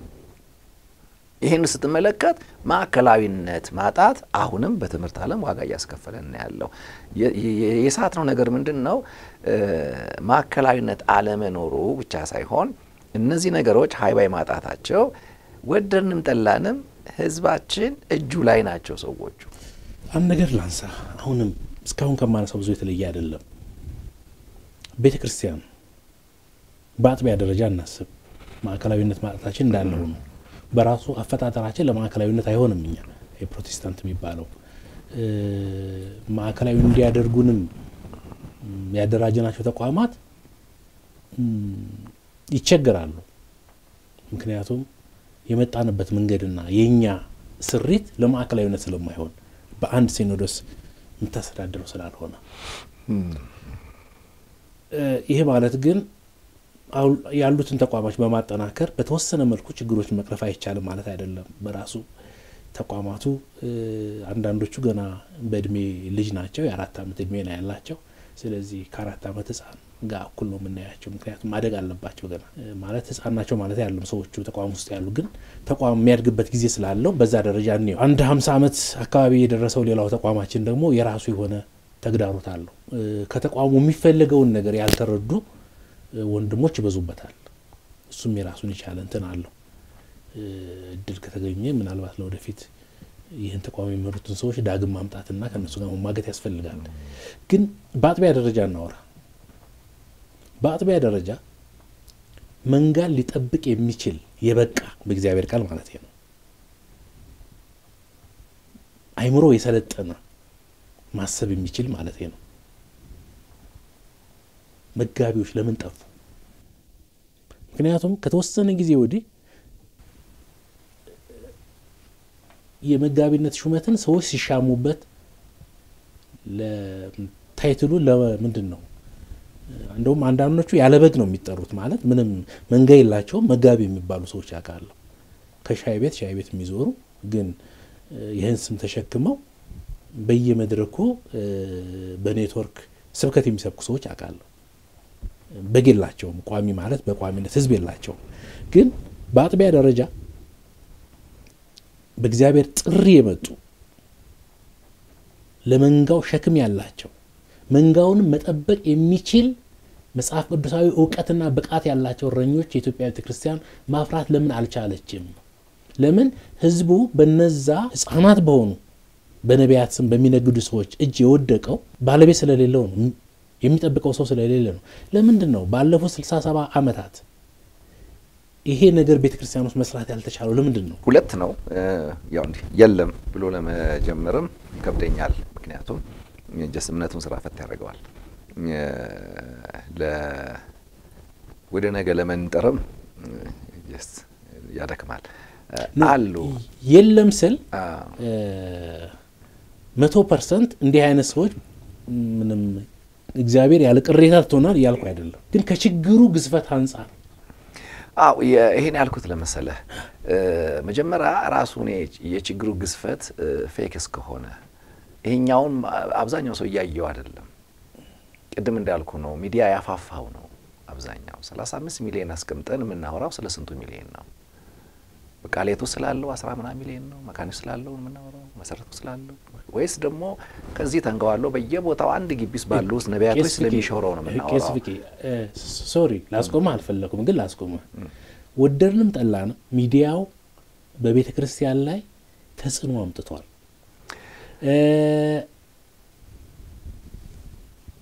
ሰውየው በዚህ በቆዩት በምንላቸው በእኛ by the way ለጤና ማለት መቆየትና አዲስ መሆን ሰርቲፊኬት ማስረጃ አይደለም፣ ግን በብዛት እንደዛ ስለሚባል ነው። ሰውየው ቆዩ በምንላቸው ቤተ እምነቶች ውስጥ physically ታገኘዋለህ። አስተምሮቱ፣ አስተሳሰቡ፣ ፍልስፍናው ግን በ social media ውና ምድሪቱን በወረሯት ሐሰተኛ ሰዎች አስተሳሰብ የተወሰደ ነው። አዎ ይህን እድል የሰጠው ምንድን ነው አሁን አንዳንድ ችግሮችን ስናበጥር እዛ ጋር የደረስንበት ምክንያት ምንድን ነው የሚለውንም አብሮ ካላየነው በስተቀር ችግሩን ብቻ እናይና ሊያድነን ከሚችለው መፍትሄ ጀስ ልንርቅ እንችላለን የሚለው ስጋት ነው ያለኝ እኔ። የመጀመሪያው ነገር ምንድን ነው ቅድም እንዳልኩት እነዚህ በሚዲያ ላይ የገነኑት ሰዎች አንደኛ just edit ተደርጎ ሌሎችን በሌሎች ፍላጎቶች ላይ በማንጠር ልክ ምንድን ነው መንጠቆ ላይ just ለአሳው የሚሆን ምግብ የምታስቀምጠው ደግ ስለሆንክ አይደለም። አሳውም አፉን የከፈተልህ ሞኝ ስለሆነ አይደለም። የሚወደውን ዳቦ አይቶ እንጂ በዳቦ የተደበቀው መርፌ አይቶት አይደለም። በቃ ተገናኝተዋል። ስለዚህ ለዳቦ በከፈተው ህይወቱን ይቀማል እና እንደዚህ አይነት system ኦች የክርስቶስን ቤተ ክርስቲያን በየዘመናቱ እንደ season ኑ እንደ century ና በዓለማቱ ላይ በወቅቱ እንደነበረው ንጽረተ ዓለም ተሞግታለች ቤተ ክርስቲያን እና አሁን የኛ ዘመን ሙግት ይሄ ነው ብዬ አስባለሁ። እንዴት ነው ከዚህ የምንወጣው ብለን ከጠየቅን የመጀመሪያው ነገር የአጥቢያዊ አደረጃጀቶቻችን ላይ ስራ መስራት መቻል አለብን። አጥቢያዊ አደረጃጀት ምንድን ነው ብለን ስንጠይቅ ለምሳሌ አንዳንዶቹ እግዚአብሔር አልሰጠም ብዬ አላምንም። ሰጥቷል። አሁን አንተ የምትላቸውን የበሰሉ ማለት ቢሰራባቸው የመብሰል ተስፋ ያላቸው ሰዎች የሉትም ብዬ አላስብም። ዝም ብሎ ባዶ የሆነ ቢሰራበት የማያድግ ነገር አይደለም የተከማቸው በየአብያተ ክርስቲያናት ውስጥ። ሲስተማችን ያንን ተቀብሎ የተሰጡትን የተሰጧትን አውቃ ለተሰጡለት ዓላማ የማብቃትን ኃላፊነት ትልቅ ትኩረት የሰጠች አጥቢያ ቤተ ክርስቲያን ታስፈልገናለች። አንዳንዴ እረኛው ከሌለ ለዛ የሚያበቃውም ተቋም ያለመኖሩ አንዱ ምልክት ነው ብዬ ስለማምን ነው። ስለዚህ ጥሩ ሊያገለግሉ የሚችሉ ሰዎችን በኮምፒቲሽን የሚመታና የሚራገጥ ወደታች የሚጫን አይነት አደረጃጀት ከሆነ ያለው እኔ እኔ በእኔም እኮ ስለደረሰብኝ ነው የምናገር ይሄንን እና የሆነ አንተ ተጽዕኖ ያመጣ የተደመጥክ የሰፋ መሄድ እንደ ስጋት የሚመለከት ከሆነ ከበላይ ያለው ምን ያደርግሃል? መውጣት ባትፈልግም እንድትወጣ አድርገው ሊጫንህ ይችላል። አንደኛው ያ ዋጋ አስከፍሏል ቤተ ክርስቲያንን ብዬ አስባለሁ። የሳውል spirit ማለት ነው። የሳውል spirit ጎበዝ አይወድም፣ ጀግና አይወድም። ጎበዝ አጠገቡ አትውልም፣ አታድርም። በጦር ነው የምትፈለገው። ግን ዙሪያውን የከበበው በሰነፍ ነው። እነዛ ሰነፎች ግን finally በፍልስጤሞች ሊያስሩት አልቻሉም። ወደ ዳዊት ስትመጣ ግን ጀግና ይወዳል። ኃያል የሚል ቃል የምታውቀው በዳዊት ዘመን ነው። እሱም እንደ ፍልስጤም እንደ ሳውል ሲወድቅ ታያለ በፍልስጤሞች ግን በደህና ጊዜ ያዘጋጃቸው ኃያላን አደረሱት። አንተ የእስራኤል መብራት ነህ ወደ ሰልፍ አትወጣም ብለው ጠበቁት ይላል። ቤተ ክርስቲያን የሚጠብቋትን ኃያል በደህና ጊዜ ካልሰራች በፍልስጤሚት ወቅታ ብትወድቅም ደንታ የሌላቸው ብትለማ ብትፈርስ ጉዳያቸው ያልሆነ በራሳቸው ዕለታዊ ስኬት ላይ ብቻ የተጠመዱ ሰዎች ይረከቧታል። ይህን የአውሮፓን ቤተ ክርስቲያን ዋጋ አስከፍሏታል። እዛ ዋጋ ካስከፈለ እዚህ ጨዋ የሚሆንበት ምንም መንገድ የለም። እነዛ በሄዱበት መንገድ ከሆነ እኛም እየተከተልን ያለ ነው። እነዛ የደረሱበት ጋር የማንደርስበት ምንም ምክንያት የለም እና ተቋሙ አጥቢያ ላይ በጣም ጥንቃቄ ማድረግ አለበት። ቀጥሎ ሲኖዶስ ወይም ቀጠና ምናምን የምንለው ነገር አለ። እነዛን በእውቀት በስልጣን መጠበቅ አለበት፣ በትሬኒንግ መጠበቅ አለበት። ከዛ አገር አቀፍ የምንናብበት ነገር አለ። ህብረትና ምናምን እንደ ሀገር አጣን የሚለው ነገር ትልቅ ህመማችን አይመስለኝም። ምክንያቱም እያንዳንዱ በተዋቅር ደግሞ ቤተ እምነት የሚለው ስላለው ማለት ነው። ማለት ለምሳሌ በመካኒስ ቤተ ክርስቲያን በሀገር ደረጃ አገር አቀፉን ክርስትና እንደሚሰበስብ ተቋም የለም በሚል የውስጥ ስራዋን ሊያደክማት አይችልም። ምክንያት የራሷ ሲኖዶስ አላት፣ የራሷ ቤተ እምነት አላት። ሚኬሲ ብትሄድ ራሱ ቤተ እምነት አለው እና ቤተ እምነቶች ጠንካራ ቢሆኑ ቀጠናዎች ይጠነክራሉ። የቀጠናዎች መጠናከር የአጥቢያዎችን ጥንካሬ ይወስነዋል።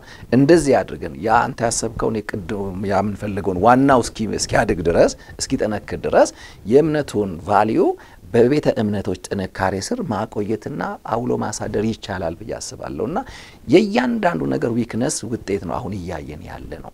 ሌላው አንዳንዴ የሚጠብቅ እስረኛ ባለበት የሚጠበቅ በግ እየተቸገርን አይመስልህም? አንዳንዴ አንዴ ተጠየቁኝ፣ አባት አለ ብለህ ታምናለህ በዚህ ዘመን ተባልኩኝ እና የመለስኩት ልጅስ አለ ብለሽ ነው ብዬ የመለስኩት። እና አንዳንዴ ከብስለት ላካፍል ብትለው ሰሚት አድርጎ የሚያካፍልሃል እንዴ? እድገቱን እኮ አንተን በመላካት የሚመዝን አይነት setup ነው ያለው። ማነህ የሚል ነው። በቅጡ ጺም ያላበቀለ ጎረምሳ ዋጋ የከፈሉ አባቶችን ቀሎት ሲዘረጥጥ ነው የምትመለከተው። እንደዚህ ባለበት ሁኔታ ላይ ማንኛቸውን የሌሉት አባት ነው የሌለው ወይስ ልጅ ነው የሌለው የሚለውም ነገር አብሮ ተደምሮ ካልታየ ህመማችን የአንድ side ብቻ ውጤት አይደለም ብዬ አስባለሁ። ስለዚህ ከመጽሐፍ ቅዱስም ይህን ስትል የሙሴ ሙሴ ላይ የተነሳውን ክስ በወንድሞቹ አስታውሰኝ። በዛን ወቅት ማድረግ ነበረበት አልነበረበትም፣ ራሱን የቻለ ስነ መለኮታዊ እንትን ክርክር ሊያስነሳ ይችላል። ግን አንድ ግብፃዊና አንድ ዕብራዊ በተጣሉ ጊዜ መሀል ሲገባ መጀመሪያ ግብፃዊውን ገደለ። ቀጥሎ ግን ሁለት አይሁዶች ደግሞ ተጣሉ። ታሪኩ ነው ሁላችን የምናውቀው ነው። ስለዚህ መልሱ አንተን በእኛ ላይ ማንሾመህ ነው።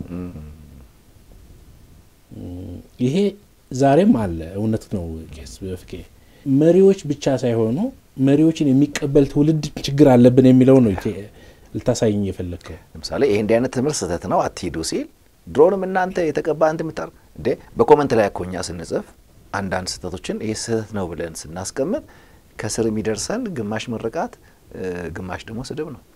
እናንተ እንትኖች እንደዚህ ሆናችሁ እንዲህ ማታደርጉ። ያው ሰው ደግሞ ከሶስት ወር በኋላ ደግሞ ተበላው ተዘረፍ ብሎ ደግሞ ሲጮህ ታየዋለህ እና ተው ስትለው ለመተው ፈቃደኛ ካ ቤተ ክርስቲያን እኮ ማለት authority የተሰጣት ናት። ተው ስትል የሚተውላት ናት። እንደ መሪ እኮ ተው ስትለኝ ተው ያልክበት ምክንያት ባይገባኝ እንኳን እስኪ ገባኝ ጠብቄ አይደለም መተው ትቼ ነው። ለምንድን ነው ተው ያልከኝ ማለት ያለብኝ ይሄ ነው። church ን church አድርጎ ያቆያት። አሁን ግን አይደለም ያል ማንም በኔ ላይ አያዝም ይልሃል። ማንም እንደፈለግ ነኝ ይልሃል። እንደዚህ የሚለው ሁሉ ደግሞ የት ታቆሟለህ? በህግ አታቆመው። እጁ ላይ ያለ ሞባይል ላይ ነው ያለው ሰውየው። ለያዥ ለገራዥ ያስቸገረ ነው። ይህ የሚያሳይ ምንድን ነው? እምነቱን የሳቱ ሰዎች ግን ለመናገር የቀለላቸው ሰዎች አሉ። maybe ደግሞ ከወንበሩ እስከ pulpit ኣችን ያለው መንገድም እኔ ቀላል መሰለኝ ሳየው። ማንም ብድግ ብሎ mic ኡን የመያዝ ለመያዝ ብዙ ማንበብ፣ ብዙ ማጠን፣ ብዙ ቆም ብሎ ማሰብ የማይጠይቅ እንደሆነ ያሰበ ይመስለኛል። በቃ ቀሎታል። በቃ ጨፍነ ከተወራጨ እዛ ደግሞ አሜን ብሎ የሚያጨበጭብልህ አንተ ህፃን ልጅ እኮ mic አስይዘህ እግዚአብሔር ቀባው ብለን እንድናስብ የሚሞግቱ አይነት ሚዲያዎች ሁሉ እኮ ያሉበት ፋሚሊዎችም በዚህ ይረካሉ። ልጄ እንደዚህ ሆነ ብለው ይረካሉ። ልጆቻቸውን ለምን ለመርገም እንደሚያዘጋጁ ግራ ነው የሚገባኝ። የትልቁን የመለኮት ፕሮግራም ገብተዋል። Christ እንኳን ለምድር ለማቀበል መውረድ የጠየቀውን ስጋ መልበስ የጠየቀውን ቁጭ አድርጎ በቀንም በሌትም ማስተማር የጠየቀውን ትልቅ እውነት ገና በቅጡ ሶስተኛ ክፍል ያልደረሰ ሕፃን እንኳን እንደገባውና ከእግዜር ተወክሎ ለዚህ እምነት እንደ ራሴ እንደሆነ የሚያስብ እናትና አባት ባለበት ማህበረሰብ ውስጥ የእምነቱን value ለማግኘት መቸገራችን ልክ ነው። እኔ ባንቸገር ነው የሚደንቀኝ፣ ልኩን ባንስት ነው የሚደንቀኝ እንጂ የመጣንበት መንገድ ያለ ጥርጥር አሁን ያለንበት ጋር የሚያደርስ ነበር። ጥያቄው በቃ የትናንት መንገዳችን ዛሬ እዚህ ጋር ውጤት ሆኖ ከሞገተን ምን እናድርግ? መንገዱን እንድገመው፣ ችግር የለም ውጤቱን ደግመዋል። ስለዚህ የመጣንበት መንገድ ስውት ከሆነ አሁን ያለንበት ውጤት አውርቶናል። back the Bible የመጀመሪያው ጥያቄያችን ጋር የምንመለሰው። ወደ እውነተኛው ጉብኝት፣ ወደ እውነተኛው reformation፣ ወደ እውነተኛው ተሃድሶ መምጣት መቻል አለብን። ያኔ ስንመጣ ዘመናችን እንደ ጥንቱ ዘመን አዲስ ነው። አሁን ላይ ሆነው የጥንቱ ምን እንዲናፍቃቸው አደረገ ብለን ስንጠይቅ የአሁናቸው የጥንቱ ላይ መስልም ነው ወደ ኋላ እንዲናፍቁ ያደረገ ስተናል። እንዲሉ አድርጓቸዋል። እና Bible ወደ ቦታው፣ መስቀል ወደ ቦታው፣ ክርስቶስ ወደ ቦታው፣ አመራር፣ ቤተ ክርስቲያን፣ ስልጣን፣ authority ወደ ቦታው ከተመለሰ ይሄ ችግር የነዛ አለመኖር ውጤት ስለሆነ ዋና ቦታውን ሲይዝ እነዚህ ተገደው ይመጣሉ። አለዚያ ደግሞ እንደ ጎርፍ ተተፍተው ጥግ ጥግ እየያዙ ይሄዳሉ። እስኪ ቄስ አንድ ጥያቄ ላንሳ። በዚህ በእይታ መድረክ ሁለት ሀሳቦች ወደፊት መጥተዋል። በዚህ በፔንቴኮስታል እንቅስቃሴ ዙሪያ አንደኛው አሁን ያለንበት ፔንቴኮስታል እንቅስቃሴ በኢትዮጵያ ቤተ ክርስቲያን እድገት ላይና አጠቃላይ አሁን ላለንበት መንፈሳዊ ውድቀት መንስኤ ነው የሚል አንድ አመለካከት ወይም አንድ ሀሳብ ተነስቶ አየር ላይ ውሏል። ተነጋግረናል በዛ ሀሳብ። ሌላው ደግሞ አይ የፔንቴኮስታል እንቅስቃሴ ለኢትዮጵያ ቤተ ክርስቲያን በረከት ነው፣ ምንም በፔንቴኮስታል እንቅስቃሴ ስም ጉድፍ ያክል ነገር አልነካንም የሚል ሌላ አመለካከትም አስተናግደናል። ዝርዝሩ በጣም ሰፊ ስለሆነ ነው። already ተመልካቾች ግን ያስታውሱታል። ቄስ በፍቃዱ ቦረና የዚህ የፔንቴኮስታል እንቅስቃሴ አካልም እንደመሆን አንተ ከኋላ ወይም ደግሞ የመጣህበት አስተምሮና ለረዥም ጊዜ የቆየህበት የሉትራን ቤተ ክርስቲያን ነው። በዛም ነው ያደግከው፣ በዛ ነው የተቃኘው። አሁን ከቅርብ ጊዜ ወዲህ ደግሞ አገልግሎት ጀምረሃል። ቤተ ክርስቲያን ተክለህ እያገለገልክ ነው። እርግጠኛ ነኝ ከትላንቱም ከዛሬውም መሀል ነህ ብዬ አስባለሁ። ቄስ በፍቄ ሉትራንነቱን እየተዋ አይመስለኝም ስገምት ስገምት። ስለዚህ እንደ አንድ ሉትራን ነው የምቆጥረ እኔ ስጠራም በዛ ሀሳቤ ነው የመጣሁት። በሌላ መልኩ ደግሞ ከሉትራን አስተምሮት ጋር ብዙ ይሄዳል ብዬ የማላስበው እኔ ብሳሳትም ታርመኛለህ። በፔንቴኮስታል እንቅስቃሴና ካሪዝማቲክ እንቅስቃሴ ውስጥ አለ ታገለግላለህ። በጸጋ ስጦታዎች ካሪዝማቲክ፣ በፈውስ፣ በዲሊቨራንስ ታገለግላለህ።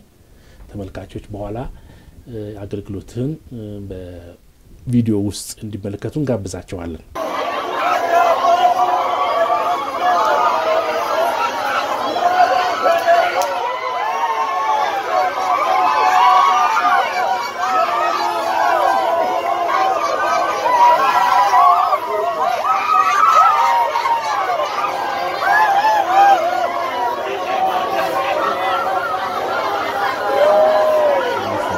ከዚህ ተነስተ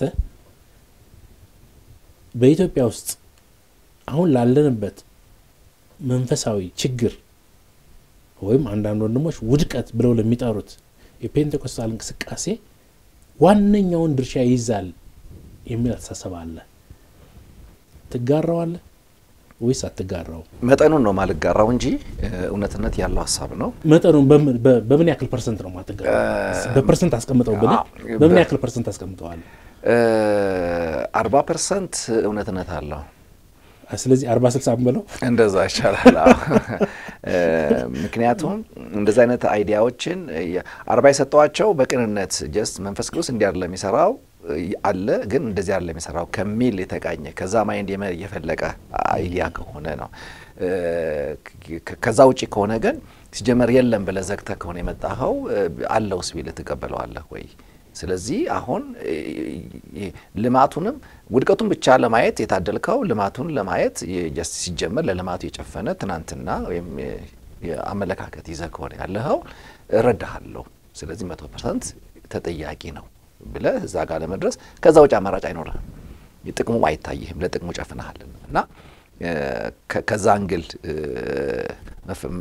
መመዘን አለበት ብዬ አስባለሁ። የፔንቴኮስታል movement የሁለት ኃይላት ጥቃት ያለበት እንቅስቃሴ ነው ብዬ አስባለሁ። አንደኛ ራሱ ፔንቴኮስታል ነን፣ መንፈስ ቅዱስ በሕይወታችን ዛሬም ይሰራል ብለን የምናምን ሰዎች የስራውን ባለቤትና የስራውን ባህሪ እና ዓላማ ጠንቅቆ ባለማወቅ የምንፈጥረው ስራው ላይ ትክክለኛ ወንበር ላይ ልክ ባልሆነ አቋምና ማንነት የመገኘታችን አንድ ውጤት የሚጠቅም ነገር እንዲጎዳ አድርገነዋል ብዬ አስባለሁ። አንደኛው ጥቃት በራሱ ራሱ ጴንጤው ራሱ ራሱን አጠቃ፣ በባለቤቶቹ በባለቤቶቹ ተጠቃ። አዎ የመጣ እንትን ነው ማለት ነብይነት ነብይ ነኝ በሚሉ ሰዎች የተሰቃየውን ያክል ነብይነት የለም በሚሉ ሰዎች አልተሰቃየም። እነዛማ ተገላገሉ፣ በቃ የለም ብለዋል። ስለዚህ በጥቅሙም አይጠቀሙም፣ በጉዳቱም አይጎዱም። ስለዚህ እነሱ ጥግ ናቸው እና የራሱ ባለቤት ነኝ በሚለው አካል የደረሰበትን ያክል መከራ አላየም ብዬ አስባለሁ። ሁለተኛው ደግሞ ቅድም ያልኩት ነው። የሁለተኛው አካላት እነሱ ደግሞ ምንድን ነው በዓላማ ከኖረ ትምህርታቸው ተነስተው የለም በሚል አቋም ከዛ ግራውንድ ተነስተው ያኮበከቡት ከዛ ማረፊያ ላይ ስለሆነ የለም ከሚል ሀሳብ ተነስተህ ስለዛ አካል በጎ ሀሳብ ልሰጥ አትችልም። እየመረጥክ እየመረጥክ በዛ በሚጠቅም ግን አብሮት እንክርዳድ አለ ብያለሁ። ያንን እየለቀምክ የምትወረወረው ብዙ ድንጋይ ስለምታገኝ ለማሸማቀቅ ትጠቀመዋለህ። አንድ ጽሁፍ አንድ በደንብ ትሄድበታለህ፣ ግን ጣልቃ መግባት አለብኝ ከይቅርታ ጋር ማስረጃ ላቅርብ። በሌላው angle በሚነሳውን እነሱን ወክዬ ማለት ነው። በመንፈስ ቅዱስ እንቅስቃሴ ስም ሌብነት ይፈጸማል፣ ማታለሎች ይሰራሉ። የተተወኑ dramatic የሆኑ ነገር ቀድመው ከመጋረጃው ጀርባ ተሰርተው ልክ በመገለጥ እንደመጡ በትንቢት ቃል እንደመጡ ጉባኤ ውስጥ ይሰራሉ። በመንፈስ ቅዱስ እንቅስቃሴ ስም ይዋሻል። ከመንፈስ ቅዱስ ባህሪ አንጻር ካየ ነው በመጀመሪያ ቤተ ክርስቲያን የራሳቸውን እንኳን ገንዘብ ቀንሰው ዋሽተው የተናገሩ ሰዎች ተቀጽፈዋል። ስለዚህ መንፈስ ቅዱስ የመጀመሪያ ይጠላል ብዬ የማስበው ውሸት ነው። ግን በመንፈስ ቅዱስ ስም ይዋሻል። እነዚያ ወገኖች የሚያቀርቡት ነው። ተራ ውሸት አይደለም። በመንፈስ ቅዱስ ስም የሰው ሕይወት ሳይቀር እንዲጠፋ ይደረጋል። ለምሳሌ ለምሳሌ እግዚአብሔር ፈውሶሻል ወይ ፈውሶሃል በማለት ሐኪም የሰጣቸውን መድኃኒት አስጥለው ብዙዎቹን ገለዋል። እነዚህ ነቢያቶች የሚያሳዝነው sorry ሳይሉን አሁንም ኮት ቀይረው አብረውን ይኖራል። በዚህ በመንፈስ ቅዱስ እንቅስቃሴ ስም ኢትዮጵያ ውስጥ የተፈጸመው በተለይ እኛ አዲስ አበባ የተፈጸመውን ነገር በዘረዘረው እናድራለን። ስለዚህ በጣም ብዙ ነገር ማንሳት እችላለሁ። በዚህ አገልግሎት ስም የተሰራ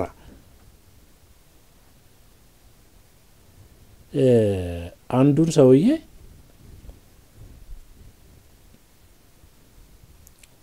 ተፈውሰሃል ቅብጥርሶ ምናምን ብለውት ቤተሰቡ ድል ያለ ድግስ ደግሶ ምስጋና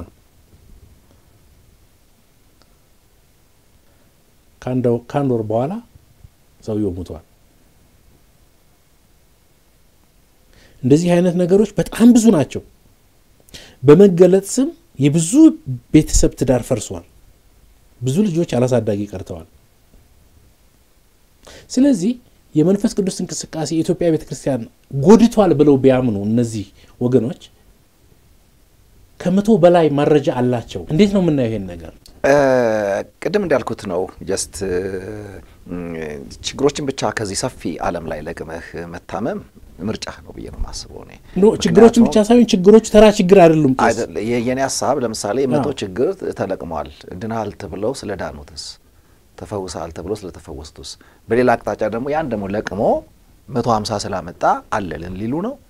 የለም ለማለት የተለቀሙት ይህን ከሆነ ደግሞ ድናል ተብሎ የዳነ ሰው ቢመጣ አለ የማለት ልብ አላቸው የላቸው? ይሄ ነው መመዘኛው። አባይ ነው ያልኩት ከዚህ አንግል ነው። ከድርጊት ከድርጊት አይደለም የሚታየው ይሄ ነገር፣ ምክንያቱም ያልነበረ አይደለም። እንደ የመገለጥ ዓለም ባለበት እንትን ላይ እውነተኛ ነቢያት፣ እውነተኛ አስተማሪ እንዳለ ሁሉ ሐሰተኛ አስተማሪ እንዳለ ሁሉ ለምንድን ነው እውነተኛ ነቢይ እንዳለ ሁሉ ሐሰተኛ ነቢይ እንዳለ አብረን ለማመን የምንቸገረው? ምክንያቱም ትምህርቶችም ከሁለት መንፈሳዊ ኃይላት እንደሚቀዱ ሁሉ አሰራሮችም ከሁለት መንፈሳዊ ኃይላት ይቀዳሉ። ሁለቱም አሉ፣ አልተፋተዋትም። ምክንያቱም ዓለም አልተፈጸመም፣ እግዚአብሔርም ሴጣንም ስራ ባልፈቱባት ነባራዊ አሁን ላይ ያለን ሰዎች ነን። ከጨለማው መንግስት ጋር የምትታገል ቤተ ክርስቲያን ናት በዚህ ምድር ላይ እየተንቀሳቀሰች ያለችው። መናፍስን መለየትም የተሰጠንም ለዚህ ነው። ለምን እንለያቸዋለን? መናፍስቶች ከሌሉ ለምንድን ነው just ይሄ ከጌታ ነው ይሄ አለየናቸውም እኮ ቄስ አሁን አለመለየታችን የዛ ጸጋ ላይ ያለው በራሱ የውስጠቱ ችግር እንጂ totally ይሄ ነገር የለም ብለን ለመደምደም እንደ ማስረጃ ከፈለግን ይታወቃል። ምን ደግሞ እነዚህን ነው እንደ ቤተ ክርስቲያን እነዚህ ያነሳዋቸውንና ከዚህ በላይ የሆኑ ችግሮችን እያየን በግልጽ ቁመን እከሌ እና እከሌ የሚባል ቤተ እምነት ከስህተት ጋር የተያያዘ አሰራር ነው ብለን አቋም እኮ አልያዝ ነው። አሁን እኮ ሐሰተኞቹና እውነተኛ ነን የሚሉት ጋብቻ ፈጽመዋል፣ ተዳቅለዋል እኮ። አሁን እኔ ከ Bible angle ነው እያወራን ያለ ነው እና እምነቱ ሲሰጠን የነበረ መልኩ ይሄ ነው፣ መቀጠል ያለበት በዚህ መንገድ ነው እያልን ነው እየመጣን ያለ ነው። በሀገር ደረጃ ስናመጣው አስፍተን ነው የምናወራው። ወደ person ስናመጣው ግን አሁን የምንላቸው መዛነፎች መታከም ለአስተያየትም ለያዥም ለገራዥም ወደሚያስቸግሩበት መልክ እያደጉ ይመጣሉ። አስፍተን እያየ ነው ከሆነ ያለ ነው ያልነበረ ነገር አይደለም ያጋጠመን። ትናንትናም አለ አሁንም አለ። አንድ ሰሞን የሐሰት ትምህርት ያስቸግራታል የክርስቶስን ቤተ ክርስቲያን፣ አንድ ሰሞን ሐሰተኛ ወንድሞች ያስቸግራል፣ አንድ ሰሞን የሞራል ችግር፣ አንድ ሰሞን ውጫዊ challenge ያጋጠማታል፣ አሁን ደግሞ ውስጣዊ challenge ያጋጥሟታል። ይሄ አሁን ላይ ያጋጠማት አይደለም የነበረ ነው። አባቶች እንዴት አለፉት ወደሚለው ነው የምንመጣው። Pentecostal movement ን በስርዓቱ አለመጠቀማችን ያመጣብን ውጤት ነው የማስበው እንጂ የእሱ የመምጣቱ ውጤት ነው ብያለ ማምነው በስርዓት አለመጠቀማችን? በትክክል አለመጠቀማችን። መናፍስ መለየትን በትክክል ብንጠቀመው ኖሮ እነዚህን ሰዎች ገና አለአቅመ መጉዳት ሳይደርሱ አቁም ከጌታ አይደለህም በሚል ድፍረት ቤተክርስቲያን ተመክተው ነበረ። ስለዚህ ከነዚህ የተነሳ ብለን ዋናውን አይን አውጥተን ከማጥፋት ይልቅ ሁለቱም የዚህ የጸጋ ስጦታ አይኖች በብርሃን ማየት የሚችሉበትን atmosphere በመፍጠር እነዚህ office ኦች ከተሰጡበት ዓላማና አቅም ጭምር እንዲገለጡ እድል በማድረግ ነው የምናክማቸው እንጂ የለም በማለት አታመልጠውም። ማስረጃ ለምሳሌ ከሌ ሀገር ከሌ ሀገር ከሌ ሀገር ከዚህ ተነሳ እንዲሆናል ብለን ማስረጃ ልናመጣ እንችላለን። እኛ ደግሞ የለም በሚል ሀሳብ ወደሚቀነቀንበት ሀገር ቆጠራ እንግባ። ወንድ ከወንድ ከሆነ ያጋቡት የሉም እኮ even ምንድን ነው መንፈስ ቅዱስ የለም የሚሉ ሰዎች እኮ በጣም ስትፍቃቸው እኮ ዛሬም ስለ ጭፈራ፣ ዛሬም ስለ ስካር የሚሞግቱን ሰዎች ናቸው። ዛሬም ስለ አልኮል የሚሞግቱን ሰዎች ናቸው። ስለዚህ እያንዳንዱ አመለካከት የራሱ ህመም አለው፣ የራሱ በሽታ አለው። ሁሉንም ወደዛ ጥግ መውሰድ አንችልም። ለምንድን ነው ይሄኛውን ሰብስበን ወደዚህኛው ጥግ የተወሰደው የሚለውን የመልስ ምት ከዚህ ጋርም ታገኝ ይመጣል። ሀሳቤ ገብተዋል የምልህ ይሄን የሚተቹ ሰዎች በሙሉ ሞራል የላቸውም ካል ከግለሰቦቹ አለ እየተናገርኩ ያለሁትኝ ግለሰቦችን አንስተን ከሆነ የምናነሳው ግለሰቦችን አለ አመለካከቱ ላይ እያንዳንዱ አመለካከት የራሱ የሆነ ጥቅም እንዳለው ሁሉ የራሱ የሆነ ምን አለው ጉዳት አለው። አንድን አማኝ Bible ሰጥተው ያለ መንፈስ ቅዱስ ሙላትና እርዳታ ስትለቀው ከኃጢአት የራቀ ህይወት አይኖረውም። ከዘፈን የራቀ ህይወት አይኖረውም። ከዝሙት የራቀ ህይወት አይኖረውም። ከዓለማዊ ልምምድ የራቀ ህይወት አይኖረውም። ስለ ቅድስና ጉዳይ ያወራዋል እንጂ ሊለማመደው አይችልም። ለምን? የሚያግዘውን መንፈስ ቀምተነዋል። የሚወቅሰውን መንፈስ ቀምተነዋል። የሚረዳውን መንፈስ አርቀነዋል። ለዛ ትኩረት እንዳይሰጥ ከማይንዱ ዘግተን አባረንበታል። ሰውየው ሰው ብቻ ነው ያለው፣ እውቀት ብቻ ነው ያለው። እንደዚህም የማድረግ አላማ ይኖረዋል ያኛው አመለካከት። ቄስ በፍቄ ጥሩ ነው ውይይታችን፣ ወድጀዋለሁ።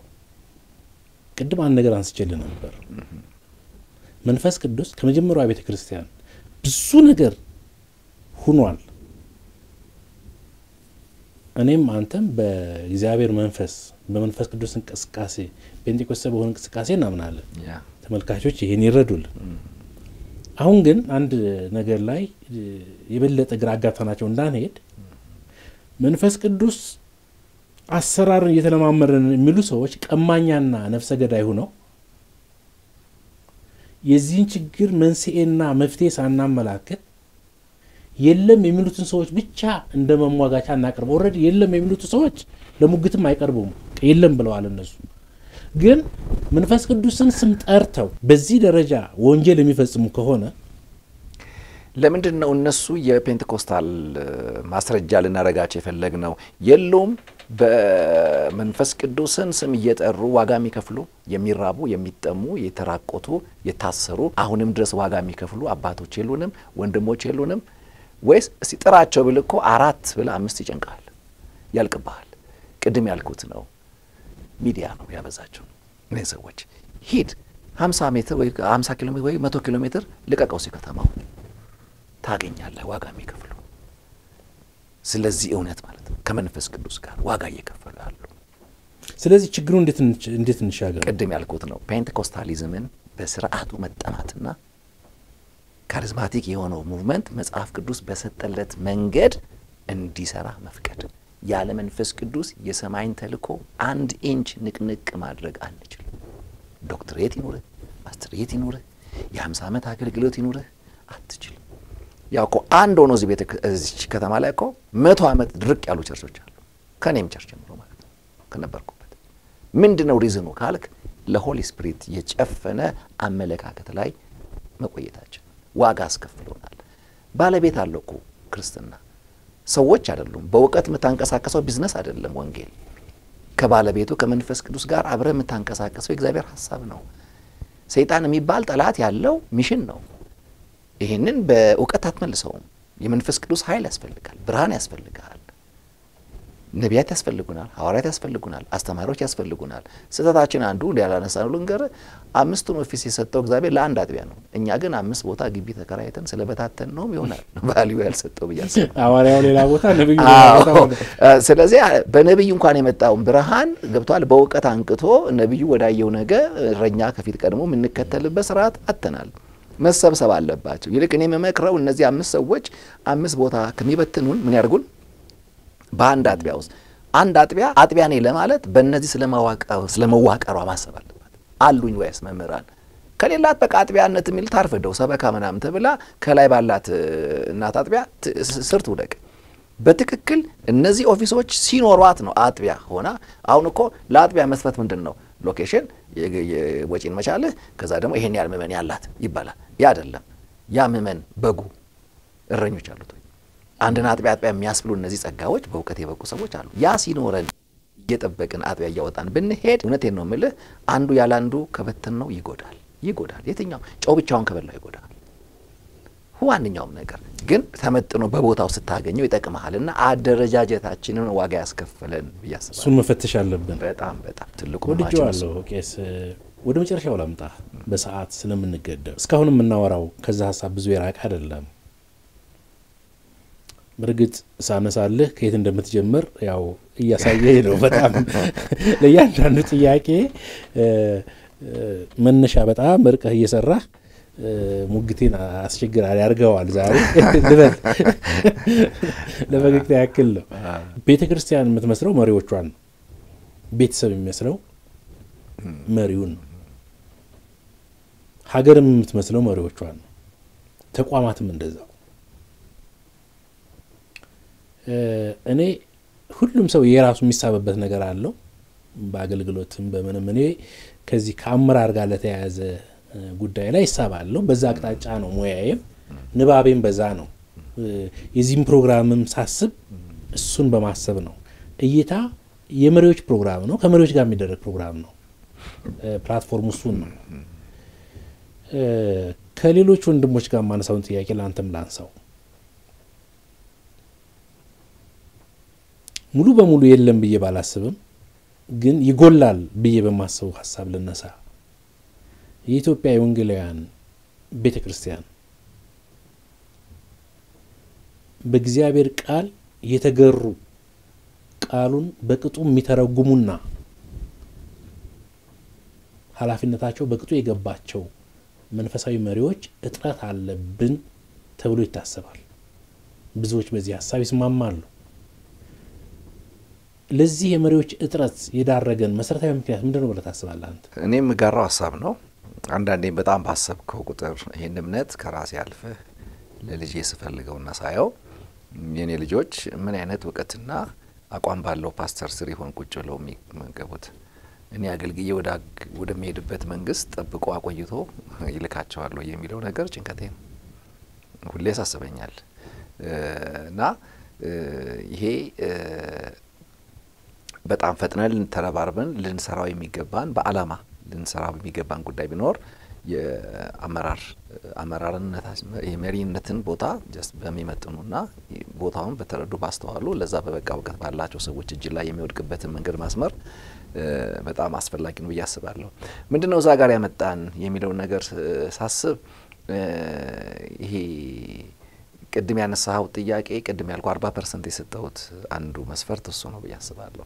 ያ ምንድን ነው አእምሯዊ ዝግጅትን ህሊናዊ ዝግጅትን የረሳና ሁሉ ነገር በቃ በኃይል በጸጋ ብቻ እንደሚሆን የማሰብ አይነት በ charismatic movement ውስጥ ተጣብቆ የገባ ሀሰታዊ አረዳድ አለ። ያ ምንድን ነው even የእሁድ ስብከትን እንኳን ስቆም ይሰጠኛል ብሎ የሚያስብ መድረክ ላይ ያስለወጠኝ የሚል ሁሌ ያስለወጠኝ ሲል እኔ ስንፍናውን ነው የሚነግረኝ እንጂ ሌላ ነገሩን አይደለም። እና ያንን እዛ ላይ መቆየታችን ጥሩ ካስተማሩን ይልቅ ጥሩ የተንቀጠቀጡ ሰዎች በጣም የተቀቡና መንፈስ የተጠጋቸው እንደሆኑ እንድናስብ just ጎድቶናል። ሁሉ ነገር side effect አለው። የዛ የዛ ጉዳይ እነዚህ ሰዎች በጊዜ ሳይያዙና ሳይበስሉ ደግሞ ስለቆዩ ብቻ ደግሞ ገብቷል። በአንድም በሌላም ወደ ዋናው ውሳኔ ወደሚሰጥበት ወንበር መምጣታቸው አሁን ላይ የጎላ ችግር ችግሩ ጎልቶ እንዲታይ ብቻ ሳይሆን በልጦ እንዲጎዳን እድል ሰጥቷል ብዬ አስባለሁ። የበሰሉ ሰዎች የተማሩ ሰዎች መንፈስ የራቃቸው እንደሆኑ የማሰብ just ቃሉ ብለህ አውዱን ጠብቀህ ስታስተምር መንፈስ የራቀህ አይነት እንደዛ ይሄ የበሰሉ ሰዎች ልሳን እያወሩ በሚዘሉ ሰዎች shrink ምንድን ነው እንዲሸማቀቁ እድል የፈጠረ አንድ አረዳድ ትንሽ ማቆየታችን ዋጋ አስከፍሎናል ብዬ አስባለሁ። አንዱ እሱ ነው። ውጤቱን አሁን እየታዩ ያለው በኢትዮጵያ ክርስትና ውስጥ። ሁለተኛው ለዚህ ደግሞ በቅተዋል ብለን አቅሙ አላቸው ቀለም ይገባቸዋል ብለን ደግሞ ወደሚሰለጥኑበት ቦታ ምንልካቸው ሰዎች እዛው ሰልጥነው ከጨረሱ በኋላ አናያቸውም። የሉም። እኔ አሁን በየአመቱ በየኮሌጁ ስንት ነው የሚመረቀው? ሁሉ ፎቶ ላይ ያለው ፌስቡክ ላይ ያለው እንትን ትምህርት ቤት ይህን ያላስመረቀ በእንትን በእንትን ይልሃል እና በየአመት የሚመረቀውና pulpit ኡ ስታየው ለውጥ የለውም። ምንድን ነው የተመረቁት ብለን ስንጠይቅ አንዳንዱ ተመርቆ ሲጨርስ ወደ church ዞር ሲል በሚያየው ስንፍና የሚበሳጭና ጥግ ይዞ በፌስቡክ የሚያላግጥ ሆኖ ታየዋለህ። group ፈጥሮ ሲያላግጡ ታያቸዋለህ። እንደ ካም ማለት ነው። ትናንትና መርከብ ሰርቶ ከጥፋት ያዳነ አባታቸው ዛሬ አይደለም መርከብ ሊሰራ ሱሪውን ሊታጠቅ አቅም አጥቶ በወደቀበት ጊዜ ላይ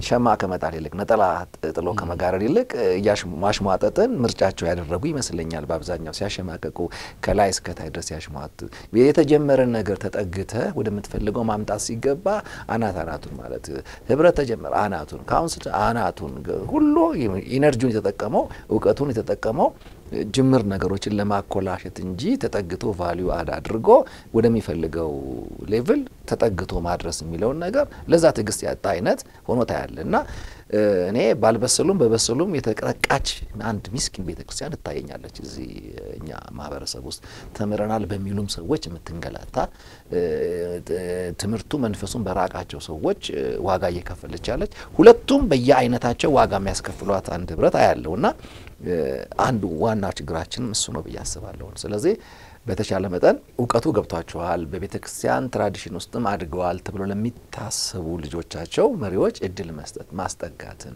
አመራሩ ሁል ጊዜ አርባ ዓመት አንድ አይነት ሰው የተቀያየረ እያረፈ እየተነሳ የሚመራት ቤተ ክርስቲያን አትለወጥም። የዛሬ አርባ ዓመት መልክ ነው ይዛ የምትቀጥለው። ግን አሁን ካለው ንጽረተ ዓለም ጋር የተቃኘ ህሊና ካላቸው ሰዎችም እየደባለቀች አብራ የምትሄድ ቤተ ክርስቲያን ጢሞቴ ጳውሎስ የሚያክል ትልቅ ሰው ስር ጢሞቴዎስ የሚባል የነገ ተስፋ ያለው ወጣት ትመለከታለህ።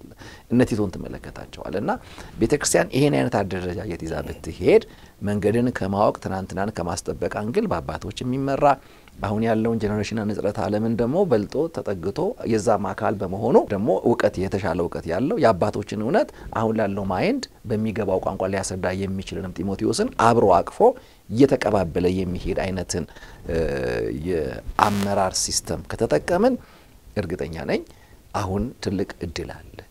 ትምህርት ፍለጋ አገር መልቀቅ፣ አጥቢያ መልቀቅ ላያስፈልግ ይችላል። ቤት ቁጭ ብለህ በፈለግከው ወረቀት ላይ ልትማር የምትችልበት እድል አለ እና እንደዛ አይነት platform ቢዘጋጅ ይሄ ችግር የሚታከም ነው ብያለሁ። እስክናክመው ድረስ ግን ዋጋ መክፈላችን ይቀጥላል። አድማጭ ተመልካቾቻችን ዛሬ ከቄስ በፍቃዱ ቦረና ጋር ልዩ የሆነ ቆይታ አድርገናል። እንደወደዳችሁ ተስፋ አደርጋለሁ። ብዙ ሀሳቦች ተነጋግረናል። በአክብሮትና በመከባበር መጠነኛ ሙግቶችንና ውይይቶችን አድርገናል። በእርግጥ ይህ ፕሮግራም እይታ ወደ ተሻለ ሙግትና የሀሳብ የበላይነት እያደገ እንደሚመጣ ተስፋ እናደርጋለን። ወደዛ ለመምጣት ያዘጋጁ ብቻ ሳይሆን የእንግዶቻችንንም ፍቃድ ዝግጅት ስለሚጠይቅ ቀስ እያልን ወደዛ እንመጣለን። አሁን ግን በዚህ ደረጃ ወደ እናንተ መጥተናል። ገንቢ ሀሳቦችን ለማቅረብ ጥረት አድርገናል። ሀሳባችሁን እንፈልገዋለን ለመስተካከል። ስለዚህ ይጠቅማል የምትሉትን ስለ ፕሮግራሙ ያላችሁን እይታ በሀሳብ መስጫ ሳጥን አጋሩን፣ share አድርጉት፣ like አድርጉት፣ ለብዙዎች እንዲደርስ ቤተሰብ ሁኑ። ይህ እይታ ነው። በሚቀጥለው ሳምንት በአዲስ ሀሳብ በአዲስ እንግዳ ወደ እናንተ እንመጣለን። ሻሎም